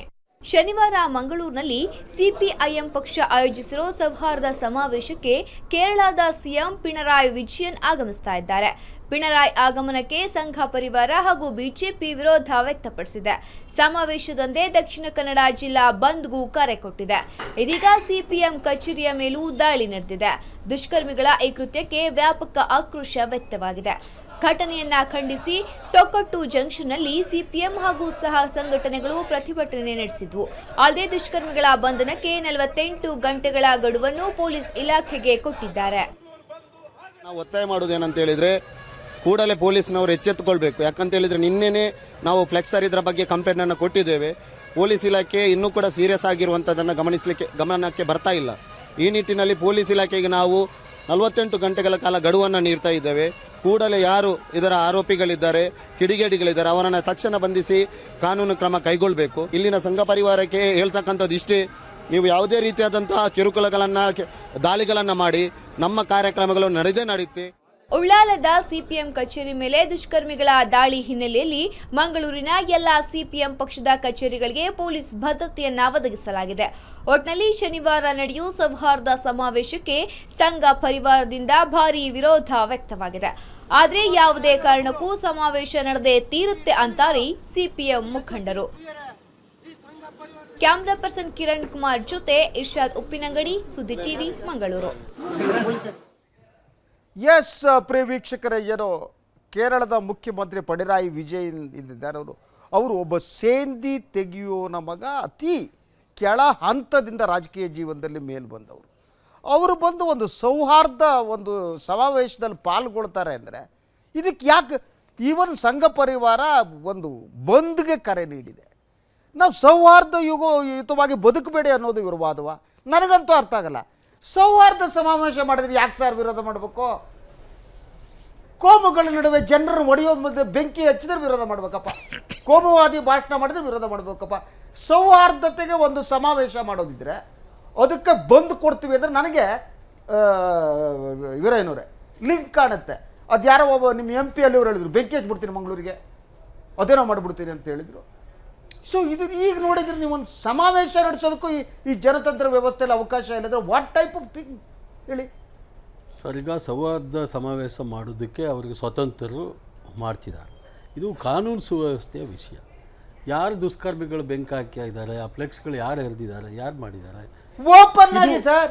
ಇಲ್ಲ ಇಲ್ಲ ಇದು ಇದು ಸಂಘ ಪರಿವಾರ ಓಪನ್ ಆಗಿ ವಿಜಯನ್ನವರ ಆಗಮನಕ್ಕೆ ವಿರೋಧ ವ್ಯಕ್ತಪಡಿಸಿದೆ. ಅವ್ರು ಹೇಳೋ ಕಾರಣ ಕೇರಳದಲ್ಲಿ ಬಿ ಜೆ ಪಿ ಕಾರ್ಯಕರ್ತರಿಗೆ ಏನೋ ಕಮ್ಯುನಿಸ್ಟ್ರು ಹೊಡಿತಿದ್ದಾರೆ ಬಡಿತಿದ್ದಾರೆ ಅನ್ನೋದು ಕಾರಣ. ನೀವು ಅದಕ್ಕೆ ಪ್ರತಿಯಾಗಿ ಬಂದಕ್ಕೆ ಕರೆ ಕೊಡ್ತೀರಿ, ಫ್ಲೆಕ್ಸ್ಗಳನ್ನು ಹರಿತೀರಿ, ಆ ಕಚೇರಿಗಳ ಮೇಲೆ ದಾಳಿ ಮಾಡ್ತೀರಿ ಅಲ್ಲಿ ಇಲ್ಲಿ ಮಾಡ್ತಾರೆ ಇದು ಕೋಮುವಾದದ ಭಾಷಣ ಕಚೇರಿ ಅಲ್ಲ ಮೇಲೆ ದಾ- ಸೌಹಾರ್ದತಾ ಭಾಷಣ. ಕಚೇರಿ ಮೇಲೆ ಇವರೇ ದಾಳಿ ಮಾಡಿದ್ದಾರೆ ಅನ್ನುವಂತ ಕನ್ಕ್ಲೂಷನ್ ನಾವು ಬರೋದು ಸರಿಯಲ್ಲ. ಬಂದು ಕರೆ ಕೊಡುವಂತದ್ದು ಅವರ ಹಕ್ಕು ಅದು ಮಾಡಿದ್ದಾರೆ. ಇಲ್ಲ ಆದರೆ ಪ್ರಕಾರ ಬಂದ್ ಕರೆ ಆಗಿಲ್ಲ ಈಗ. ಅಲ್ಲ ಎಲ್ಲ ಸುಪ್ರೀಂ ಕೋರ್ಟ್ ಲೇಟೆಸ್ಟ್ ಅಲ್ಲ, ಕೇವಲ ಮಂಗಳೂರು ಹೊಸದಲ್ಲ ಬಂಧನ ರಾಜ್ಯ ಕೊಟ್ಟಿದೆ ರಾಷ್ಟ್ರ ಕೂಡ ಕೊಟ್ಟಿದೆ ಬಂದ್ಗಳು ನಡೀತಾ ಇರ್ತವೆ. ಒಬ್ರು ಯಾರೋ ಬರ್ತಿದ್ದಾರೆ ಅನ್ನೋದಕ್ಕೆ ಅಡೆ ತಡೆ ತಡೆ ಮಾಡುವಂತದ್ದು ಕೂಡ ಅದು ಪ್ರಜಾಪ್ರಭುತ್ವದ ಅಲ್ಲ. ಆಗ್ತದೆ, ಆದ್ರೆ ಆದ್ರೆ ನಿಮ್ಗೆ ತೊಂದ್ರೆ ಕೊಡಲ್ಲ. ಬಿಜೆಪಿ. ದುಷ್ಕರ್ಮಿಗಳು ಯಾರು ಅನ್ನುವಂಥದ್ದು ಅದು ನಿಮ್ ಕಷ್ಟ ಪಾರ್ಟಿ. ಲೈನ್ ಒಂದ್ ಕಡೆ ಇರುತ್ತೆ. ವೀರಯ್ಯನವ್ರ ಮನಸ್ಸು ಏನು ಅನ್ನೋದು ನನಗೆ ವೆರಿ ಫಿಕ್ಸ್ ಸಾರಿ ಸರ್ ನಾನು ಸತ್ಯ ಹೇಳ್ತಿದ್ದೀನಿ. ಅದಕ್ಕೆ ರಾಜಕೀಯ ಮಿಕ್ಸ್ ನನಗೆ ನನಗೆ ಅರ್ಥ ಆಗ್ತಾ ಇಲ್ಲ. ಇವತ್ತು ಎಲ್ಲಿಗೆ ಹೋಗ್ತಾ ಇದೆ ಈ ದೇಶದಲ್ಲಿ ಇರ್ತಕ್ಕಂಥ ಒಂದು ಸಂಘಟನೆ ಅಥವಾ ಒಂದು ಪೊಲಿಟಿಕಲ್ ಪಾರ್ಟಿಯ ಆಟಿಟ್ಯೂಡ್ ಮಂಗಳೂರಿನ ಅಥವಾ ದಕ್ಷಿಣ ಕನ್ನಡದ ಬಿ ಜೆ ಪಿ ಮತ್ತು ಸಂಘ ಪರಿವಾರದ ಕಾರ್ಯಕರ್ತರ ಅಭಿಪ್ರಾಯ ಮತ್ತು ಅವರ ಆ್ಯಟಿಟ್ಯೂಡನ್ನು ನೋಡಿದ್ರೆ, ಅವರಲ್ಲಿ ಫ್ಯಾಸಿಸ್ಟ್ ಪ್ರವೃತ್ತಿ, ಇದಿ ಅಮೀನ್ ಪ್ರವೃತ್ತಿ, ಹಿಟ್ಲರ್ ಪ್ರವೃತ್ತಿ ಸ್ಪಷ್ಟವಾಗಿ ಕಾಣಿಸ್ತಾ ಇದೆ. ಅರೆ, ನಮ್ಮ ಸಂವಿಧಾನದ ಆರ್ಟಿಕಲ್ ನೈನ್ಟೀನ್ ಪ್ರಕಾರ ಈ ದೇಶದ ಯಾವುದೇ ಪ್ರಜೆ ಯಾವುದೇ ಭಾಗಕ್ಕೆ ಹೋಗಿ ಬರಲಿಕ್ಕೆ ಅವಕಾಶ ಇದೆ. ಕಾನೂನಿನ ಚೌಕಟ್ಟಿನಲ್ಲಿ ತಮ್ಮ ಅಭಿಪ್ರಾಯವನ್ನು ವ್ಯಕ್ತಪಡಿಸ್ತಕ್ಕಂಥ ಅದಕ್ಕೆ ಅವಕಾಶ ಇದೆ. ಸಂವಿಧಾನದ ಆರ್ಟಿಕಲ್ ಫಿಫ್ಟಿ ಒನ್ ಎ ಪ್ರಕಾರ fundamental duties of a citizen ಅಲ್ಲಿ ಸಾಮರಸ್ಯವನ್ನ ರೂಢಿಸ್ತಕ್ಕಂಥದ್ದು ಪ್ರತಿಯೊಬ್ಬ ಪ್ರಜೆಯ ಅವಕಾಶ ಇದೆ. ಆದರೆ ಇಲ್ಲಿ ಒಂದು ರಾಜ್ಯದ ಮುಖ್ಯಮಂತ್ರಿ ಈ ದೇಶದ ಪ್ರಜೆ ಆಗಿರ್ತಕ್ಕಂಥವ್ರು ಒಂದು ರಾಜ್ಯದ ಮುಖ್ಯಮಂತ್ರಿ ಇವತ್ತು ಆ ಪ್ರದೇಶಕ್ಕೆ ಬರೋದಕ್ಕೆ ವಿರೋಧ ಮಾಡ್ತೀವಿ ಅಂತ ಹೇಳಿದ್ರೆ ಇವರೇನು ಈ ಸಂಘ ಪರಿವಾರದವರಾಗ್ಲಿ ಅಥವಾ ಭಾರತೀಯ ಅದಕ್ಕಿಂತ ಆ ಮನುಷ್ಯ ಇದಾರಲ್ಲ ಹೋರಾಟದ ಮೂಲಕ ಇವತ್ತು ವಿಜಯನ್ ಹೇಗಿದ್ದಾರೆ ಅಂತಂದ್ರೆ ಅವ್ರ ಹೆಂಡತಿ ಶಿಕ್ಷಕಿ ಅವ್ರಿಗೆ ಪಾರ್ಟಿ ಕೂಡ ಇದ್ರಲ್ಲಿ ಬದುಕೋ ಅಂತವ್ರು ಸೇಂದಿ ತೆಗಿತಿರೋ ಫ್ಯಾಮಿಲಿಯಲ್ಲಿ ಬಂದವರು ಇವ್ರು ಟಾರ್ಗೆಟ್ ಮಾಡೋ ಈಗ ಒಂದು ಕಡೆ ನೋಡಿ ಅವ್ರಿಗೆ ಏನ್ ಅನ್ನಿಸ್ತಾ ಇದೆ? ಸೈದ್ಧಾಂತಿಕವಾಗಿ ಡಿಫರೆನ್ಸಸ್ ಇರಬಹುದು ಆದರೆ ಸಂಯಮ ಇಲ್ಲ ಇಲ್ಲ ಅಂತ ಹೇಳಿದ್ರೆ ಇವರನ್ನ ಏನಂತ ಹೇಳಬೇಕಾಗುತ್ತೆ? ಇವ್ರಿಗೆ ಇವರು ತಿಳ್ಕೊಂಡಿದ್ದಾರೆ ಅವರು ಬಹಳ ಸಾರಿ ಹೇಳ್ತಾ ಇರ್ತಾರೆ ದಕ್ಷಿಣ ಕನ್ನಡ ಬಿಜೆಪಿಯ ಹೆಬ್ಬಾಗಿಲು ಅಂತೇಳಿ. ಬಹುಶಃ ಅದೇ ದಕ್ಷಿಣ ಕನ್ನಡದ ಜನ ಅತ್ಯಂತ ಪ್ರಬುದ್ಧರಿದ್ದಾರೆ ವಿಚಾರವಂತರಿದ್ದಾರೆ ಸಂಯಮನವನ್ನು ಸಂಯಮನವನ್ನ ಕಾಪಾಡ್ತಕ್ಕಂಥ ಜನ ಇದ್ದಾರೆ. ನನಗೆ ಅನ್ಸುತ್ತೆ ದಕ್ಷಿಣ ಕನ್ನಡದ ಜನ ಈ ರೀತಿಯ ವಿಚಿತ್ರಕಾರಕ ಪ್ರವೃತ್ತಿಯನ್ನು ತೋರ್ತಕ್ಕಂಥ ಸಂಘ ಪರಿವಾರ ಆಗಲಿ ಬಿಜೆಪಿನವರೇ ಆಗಲಿ ಬುದ್ಧಿ ಕಲಿಸ್ತಕ್ಕಂಥ ಕೆಲಸ ಮಾಡಬೇಕು ಅಂತೇಳಿ ನಾನು ಆಶಿಸ್ತೇನೆ. ಈ ಅಭಿವ್ಯಕ್ತಿ ಸ್ವಾತಂತ್ರ್ಯಕ್ಕೆ ಹಲ್ಲೆ ತರುವಂತ ಪ್ರತಿಯೊಂದು ಪ್ರವೃತ್ತಿ ಪ್ರವೃತ್ತಿಯನ್ನು ನಾವು ಆಗೋದು. ನಿಲ್ಲಿಸ್ಬೇಕು. ಅವರು ಅವ್ರಿಗೇನೋ ಜಾತಿ ಕೋಮುವಾದ ಭಾಷಣ ಹೊಡೆಕದ್ರೆ ವಿರೋಧ ಹೊಡೆ. ಸೌಹಾರ್ದತೆ ದಕ್ಷಿಣ ಕನ್ನಡದಲ್ಲಿ ಎಲ್ಲ ಜಾತಿ ಸಮುದಾಯ ಒಂದಾಗಿ ಬದುಕಲಿ ಆಶಯದಿಂದ ಒಂದು. ಒಂದ್ ಸಮಾವೇಶ ಅದಕ್ಕೆ ವಿರೋಧ ಮಾಡ್ತೀರಿ? ಮುಖ್ಯಮಂತ್ರಿಗಳು ಮುಖ್ಯಮಂತ್ರಿ ಒಂದು ರಾಜ್ಯದ ಮುಖ್ಯಮಂತ್ರಿ ಬರೋದಕ್ಕೆ ಬಿಡೋದಿಲ್ಲ ಅಂತ ಹೇಳಿದ್ರೆ. ಸಾಮಾನ್ಯ ಮನುಷ್ಯನೇ ಆಗಲಿ ಮುಖ್ಯಮಂತ್ರಿ ಆಗಬೇಕು ಅಂತ ಹೇಳಿಲ್ಲ. ನೀವು ಹೇಳೋದನ್ನೇ ನಾನು ಕೇಳೋದಕ್ಕೆ ತಯಾರಿಲ್ಲ ಅನ್ನೋದು ಇದೆಯಲ್ಲ ಅದು ಒಂದು ನಾಗರಿಕ ಸಮಾಜದ ಲಕ್ಷಣ ಅಲ್ಲ ಇನ್ನೊಂದು ಎರಡನೇದಾಗಿ ನೀವು ವಿಜಯನ್ ಬಂದಾಗ. ಯಾರು ಕೇರಳದಿಂದ ಬರ್ತಾರೆ ಕಮ್ಯುನಿಸ್ಟ್ ಕಾರ್ಯಕರ್ತರು ಅವರಿಗೆ ಹೋಟೆಲ್ ರೂಮ್ಗಳನ್ನು ಕೊಡಬಾರದು ಅಂತೇಳಿ ಇಡೀ ಮಂಗಳೂರಿನಲ್ಲಿ ಈ ಸಂಘ ಪರಿವಾರ ಆದೇಶ ನೀಡಿದೆ. ನೀವು ಕೊಟ್ರೆ ನಿಮ್ಗೆ ಹುಷಾರ್ ಅಂತ ಇದು ಯಾಕೆ ಗೊತ್ತಾ? ವಾಟ್ ಐ ಡೋಂಟ್ ಅಂಡರ್ಸ್ಟ್ಯಾಂಡ್ ಅಲ್ಲ ಇದು ಯಾಕೆ ಗೊತ್ತಾ? ಇದು ಈ ಈ ಬಿಜೆಪಿನವರ ಪ್ರವೃತ್ತಿ ಇದೆಯಲ್ಲ ಮೈಂಡ್ ಸೆಟ್ ಇದೆಯಲ್ಲ. ಇವತ್ತು ಬಿಜೆಪಿನವರಿಗೆ ಆ ದಕ್ಷಿಣ ಕನ್ನಡ ಮತ್ತು ಆ ಕಡಲ ತೀರದಲ್ಲಿ ಬೇಸು ಕಳ್ಕೊಳ್ತಾ ಇದ್ದಾರೆ. ಸೊ ಹಾಗಾಗಿ ಈ ಬೆಂಕಿ ಹಚ್ಚತಕ್ಕಂತ ಪ್ರವೃತ್ತಿ ತೋರಿದ್ರೆ ಏನಾದ್ರೂ ವೋಟ್ ಬ್ಯಾಂಕ್ ಕ್ರಿಯೇಟ್ ಮಾಡ್ಕೋಬಹುದು ಅಂತ ಹೇಳಿ ಅವ್ರು. ದಯಮಾಡಿ ನಾನು ಇಷ್ಟೇ ಹೇಳ್ತೇನೆ. ಆ ಭಾಗದ ಜನ ಬಹಳ ಪ್ರಬುದ್ಧರಿದ್ದಾರೆ ದಕ್ಷಿಣ ಕನ್ನಡದಲ್ಲಿ ಕಾಂಗ್ರೆಸ್ ಈಗಿರ್ತಕ್ಕಂಥ ಸರ್ಕಾರದ ಮಂತ್ರಿಗಳು ಎಷ್ಟು ಜನ ಇದ್ದಾರೆ? ಸರ್ ನನಗೆ ಅದು ಬೇಕಾಗಿಲ್ಲ ವೀರಯ್ಯ ಐ ಆಮ್ ಲೀಸ್ಟ್ ಅಲ್ಲಲ್ಲ. About politics what I want Congress ಇರಲಿ ಬಿಜೆಪಿ ಇರಲಿ ಮತ್ತೊಬ್ಬರು ಇರಲಿ. ಅಲ್ರಿ ನೀವು ಅಲ್ಲಿ ಅಲ್ಲಿ ಅಲ್ಲಿ ನೀವು ಪಕ್ಷ ಇಲ್ವಾ? ಅಲ್ಲಿ ನಿಮ್ಮ ಕಾರ್ಯಕರ್ತರು. ಪಕ್ಕದ ರಾಜ್ಯದ್ದು ಅಲ್ಲಿ ನಿಮ್ಮ ಸರ್ಕಾರ ಇಲ್ವಾ? ಪ್ರಶ್ನೆ ದಕ್ಷಿಣ ಕನ್ನಡದಲ್ಲಿ ಅತಿ ಹೆಚ್ಚು ಶಾಸಕರು ಕಾಂಗ್ರೆಸ್ನವರು ಇದ್ದಾರೆ. ಮಂತ್ರಿಗಳಿದ್ದಾರೆ. ಅಲ್ಲ ಸರ್, ಪಕ್ಷನೂ ಇದೆ. ಆ, ವೀರಯ್ಯ, ಪ್ರತಿಯೊಂದನ್ನು ಕೂಡ ನೀವು ಸಂಘ ಮಾಡಿ ನೀವು ಹೇಳಿಕೆ ಕೊಟ್ಟಿದ್ದೀರಲ್ಲ? ಬಂದಿಗೆ ಕರೆ ಕೊಟ್ಟಿದ್ದೀರಲ್ಲ. ವೀರಯ್ಯ, ಬಂದಿಗೆ ಕರೆ ಕೊಟ್ಟಿದ್ದೀರಿ. ಹೇಳಿಕೆ ಅದೇ, ಕೊಟ್ಟಿದ್ದೀರಿ. ನಿಮ್ಮ ರೂಮ್ಗಳಿಗೆ ಅವಕಾಶ ನಿಮ್ಮ ಮಾಡ್ತಾ ಇಲ್ಲ. ಶಾಸಕರು ಯಾಕೆ ಮೌನವಾಗಿದ್ದಾರೆ? ತೋರಿಸುತ್ತೆ? ನಿಮ್ಮ ಮೈಂಡ್ ಸೆಟ್ ನಿಮ್ಮ ನೀವು ಅಭಿವ್ಯಕ್ತಿ ಸ್ವಾತಂತ್ರ್ಯಕ್ಕೆ ಧಕ್ಕೆ ತರ್ತಾ ಇದ್ದೀರಿ, ಸಂವಿಧಾನಕ್ಕೆ ಧಕ್ಕೆ ಸಿಪಿಎಂ ಕಾರ್ಯಕರ್ತರು ಸಿಪಿಎಂ ಕಾರ್ಯಕರ್ತರು ಬಂದ್ರೆ ಹೋಟೆಲ್ ಕೊಡಬೇಡಿ ಹೋಟೆಲ್ಗೆ ಬೆದರಿಕೆ ಹಾಕ್ತೀರಿ. ಫ್ಲೆಕ್ಸ್ ಗಳನ್ನ ಕಿತ್ತಾಕ್ತೀರಿ. ಅದೆಲ್ಲವೂ ಬಂದು ಸರಿ ಇಲ್ಲ ಕರೆ ಅಂತ ನೀಡ್ತೀರಿ. ನಾನು ಒಪ್ಕೊಳ್ತೇನೆ. ಒಂದು ಸರ್ಕಾರ ಇದೆ. ಒಂದು ಸರ್ಕಾರ ಇದೆ ಪಕ್ಷ ವೈಚಾರಿಕವಾಗಿ ಮಾಡ್ತಿದ್ದಾರೆ? ನಾನು ಏಳು ಜನರ ಮೇಲೆ ಕೇಸ್ ನಾನು ಹಾಕ್ತೀನಿ ಅಂತ ನಾನು- ಇಲ್ಲ ಇಲ್ಲ ನಾನು ಹೇಳ್ಬೇಕು. ನಾನು ಹೇಳಬೇಕಾಗಿರೋದು ಒಂದು ಮಾತಿಲ್ಲ ಅಷ್ಟೇ ಈ ಕೆಲವು ದಿವಸಗಳ ಹಿಂದೆ ನಳಿನ್ ಕುಮಾರ್ ಕಟೀಲ್ ಅಲ್ಲಿ ಏನು ಮಾತಾಡಿದ್ರು ಹೇಳೋದನ್ನು ನಾವು ಇಲ್ಲಿ ಚರ್ಚೆ ಮಾಡಿದ್ದೇವೆ. ಅವರದ್ದು ಒಂದು ಆರೋಪ ಏನು ಅಂತಂದರೆ ಇಲ್ಲಿ ಪೊಲೀಸ್ನವರು ಸರಿಯಾಗಿ ಕರ್ತವ್ಯ ನಿರ್ವಹಿಸ್ತಾ ಇಲ್ಲ ಅಂತೇಳಿ. ಇವತ್ತು ನಮ್ಮ ಸಿ ಪಿ ಎಂ ತಂಡದವರು ಅವರು ಹೇಳ್ತಿದ್ದಾರೆ ಪೊಲೀಸ್ನವರಿಗೆ ನಲವತ್ತೆಂಟು ತಾಸಿನ ಗಡುವನ್ನು ಕೊಟ್ಟಿದ್ದಾರೆ.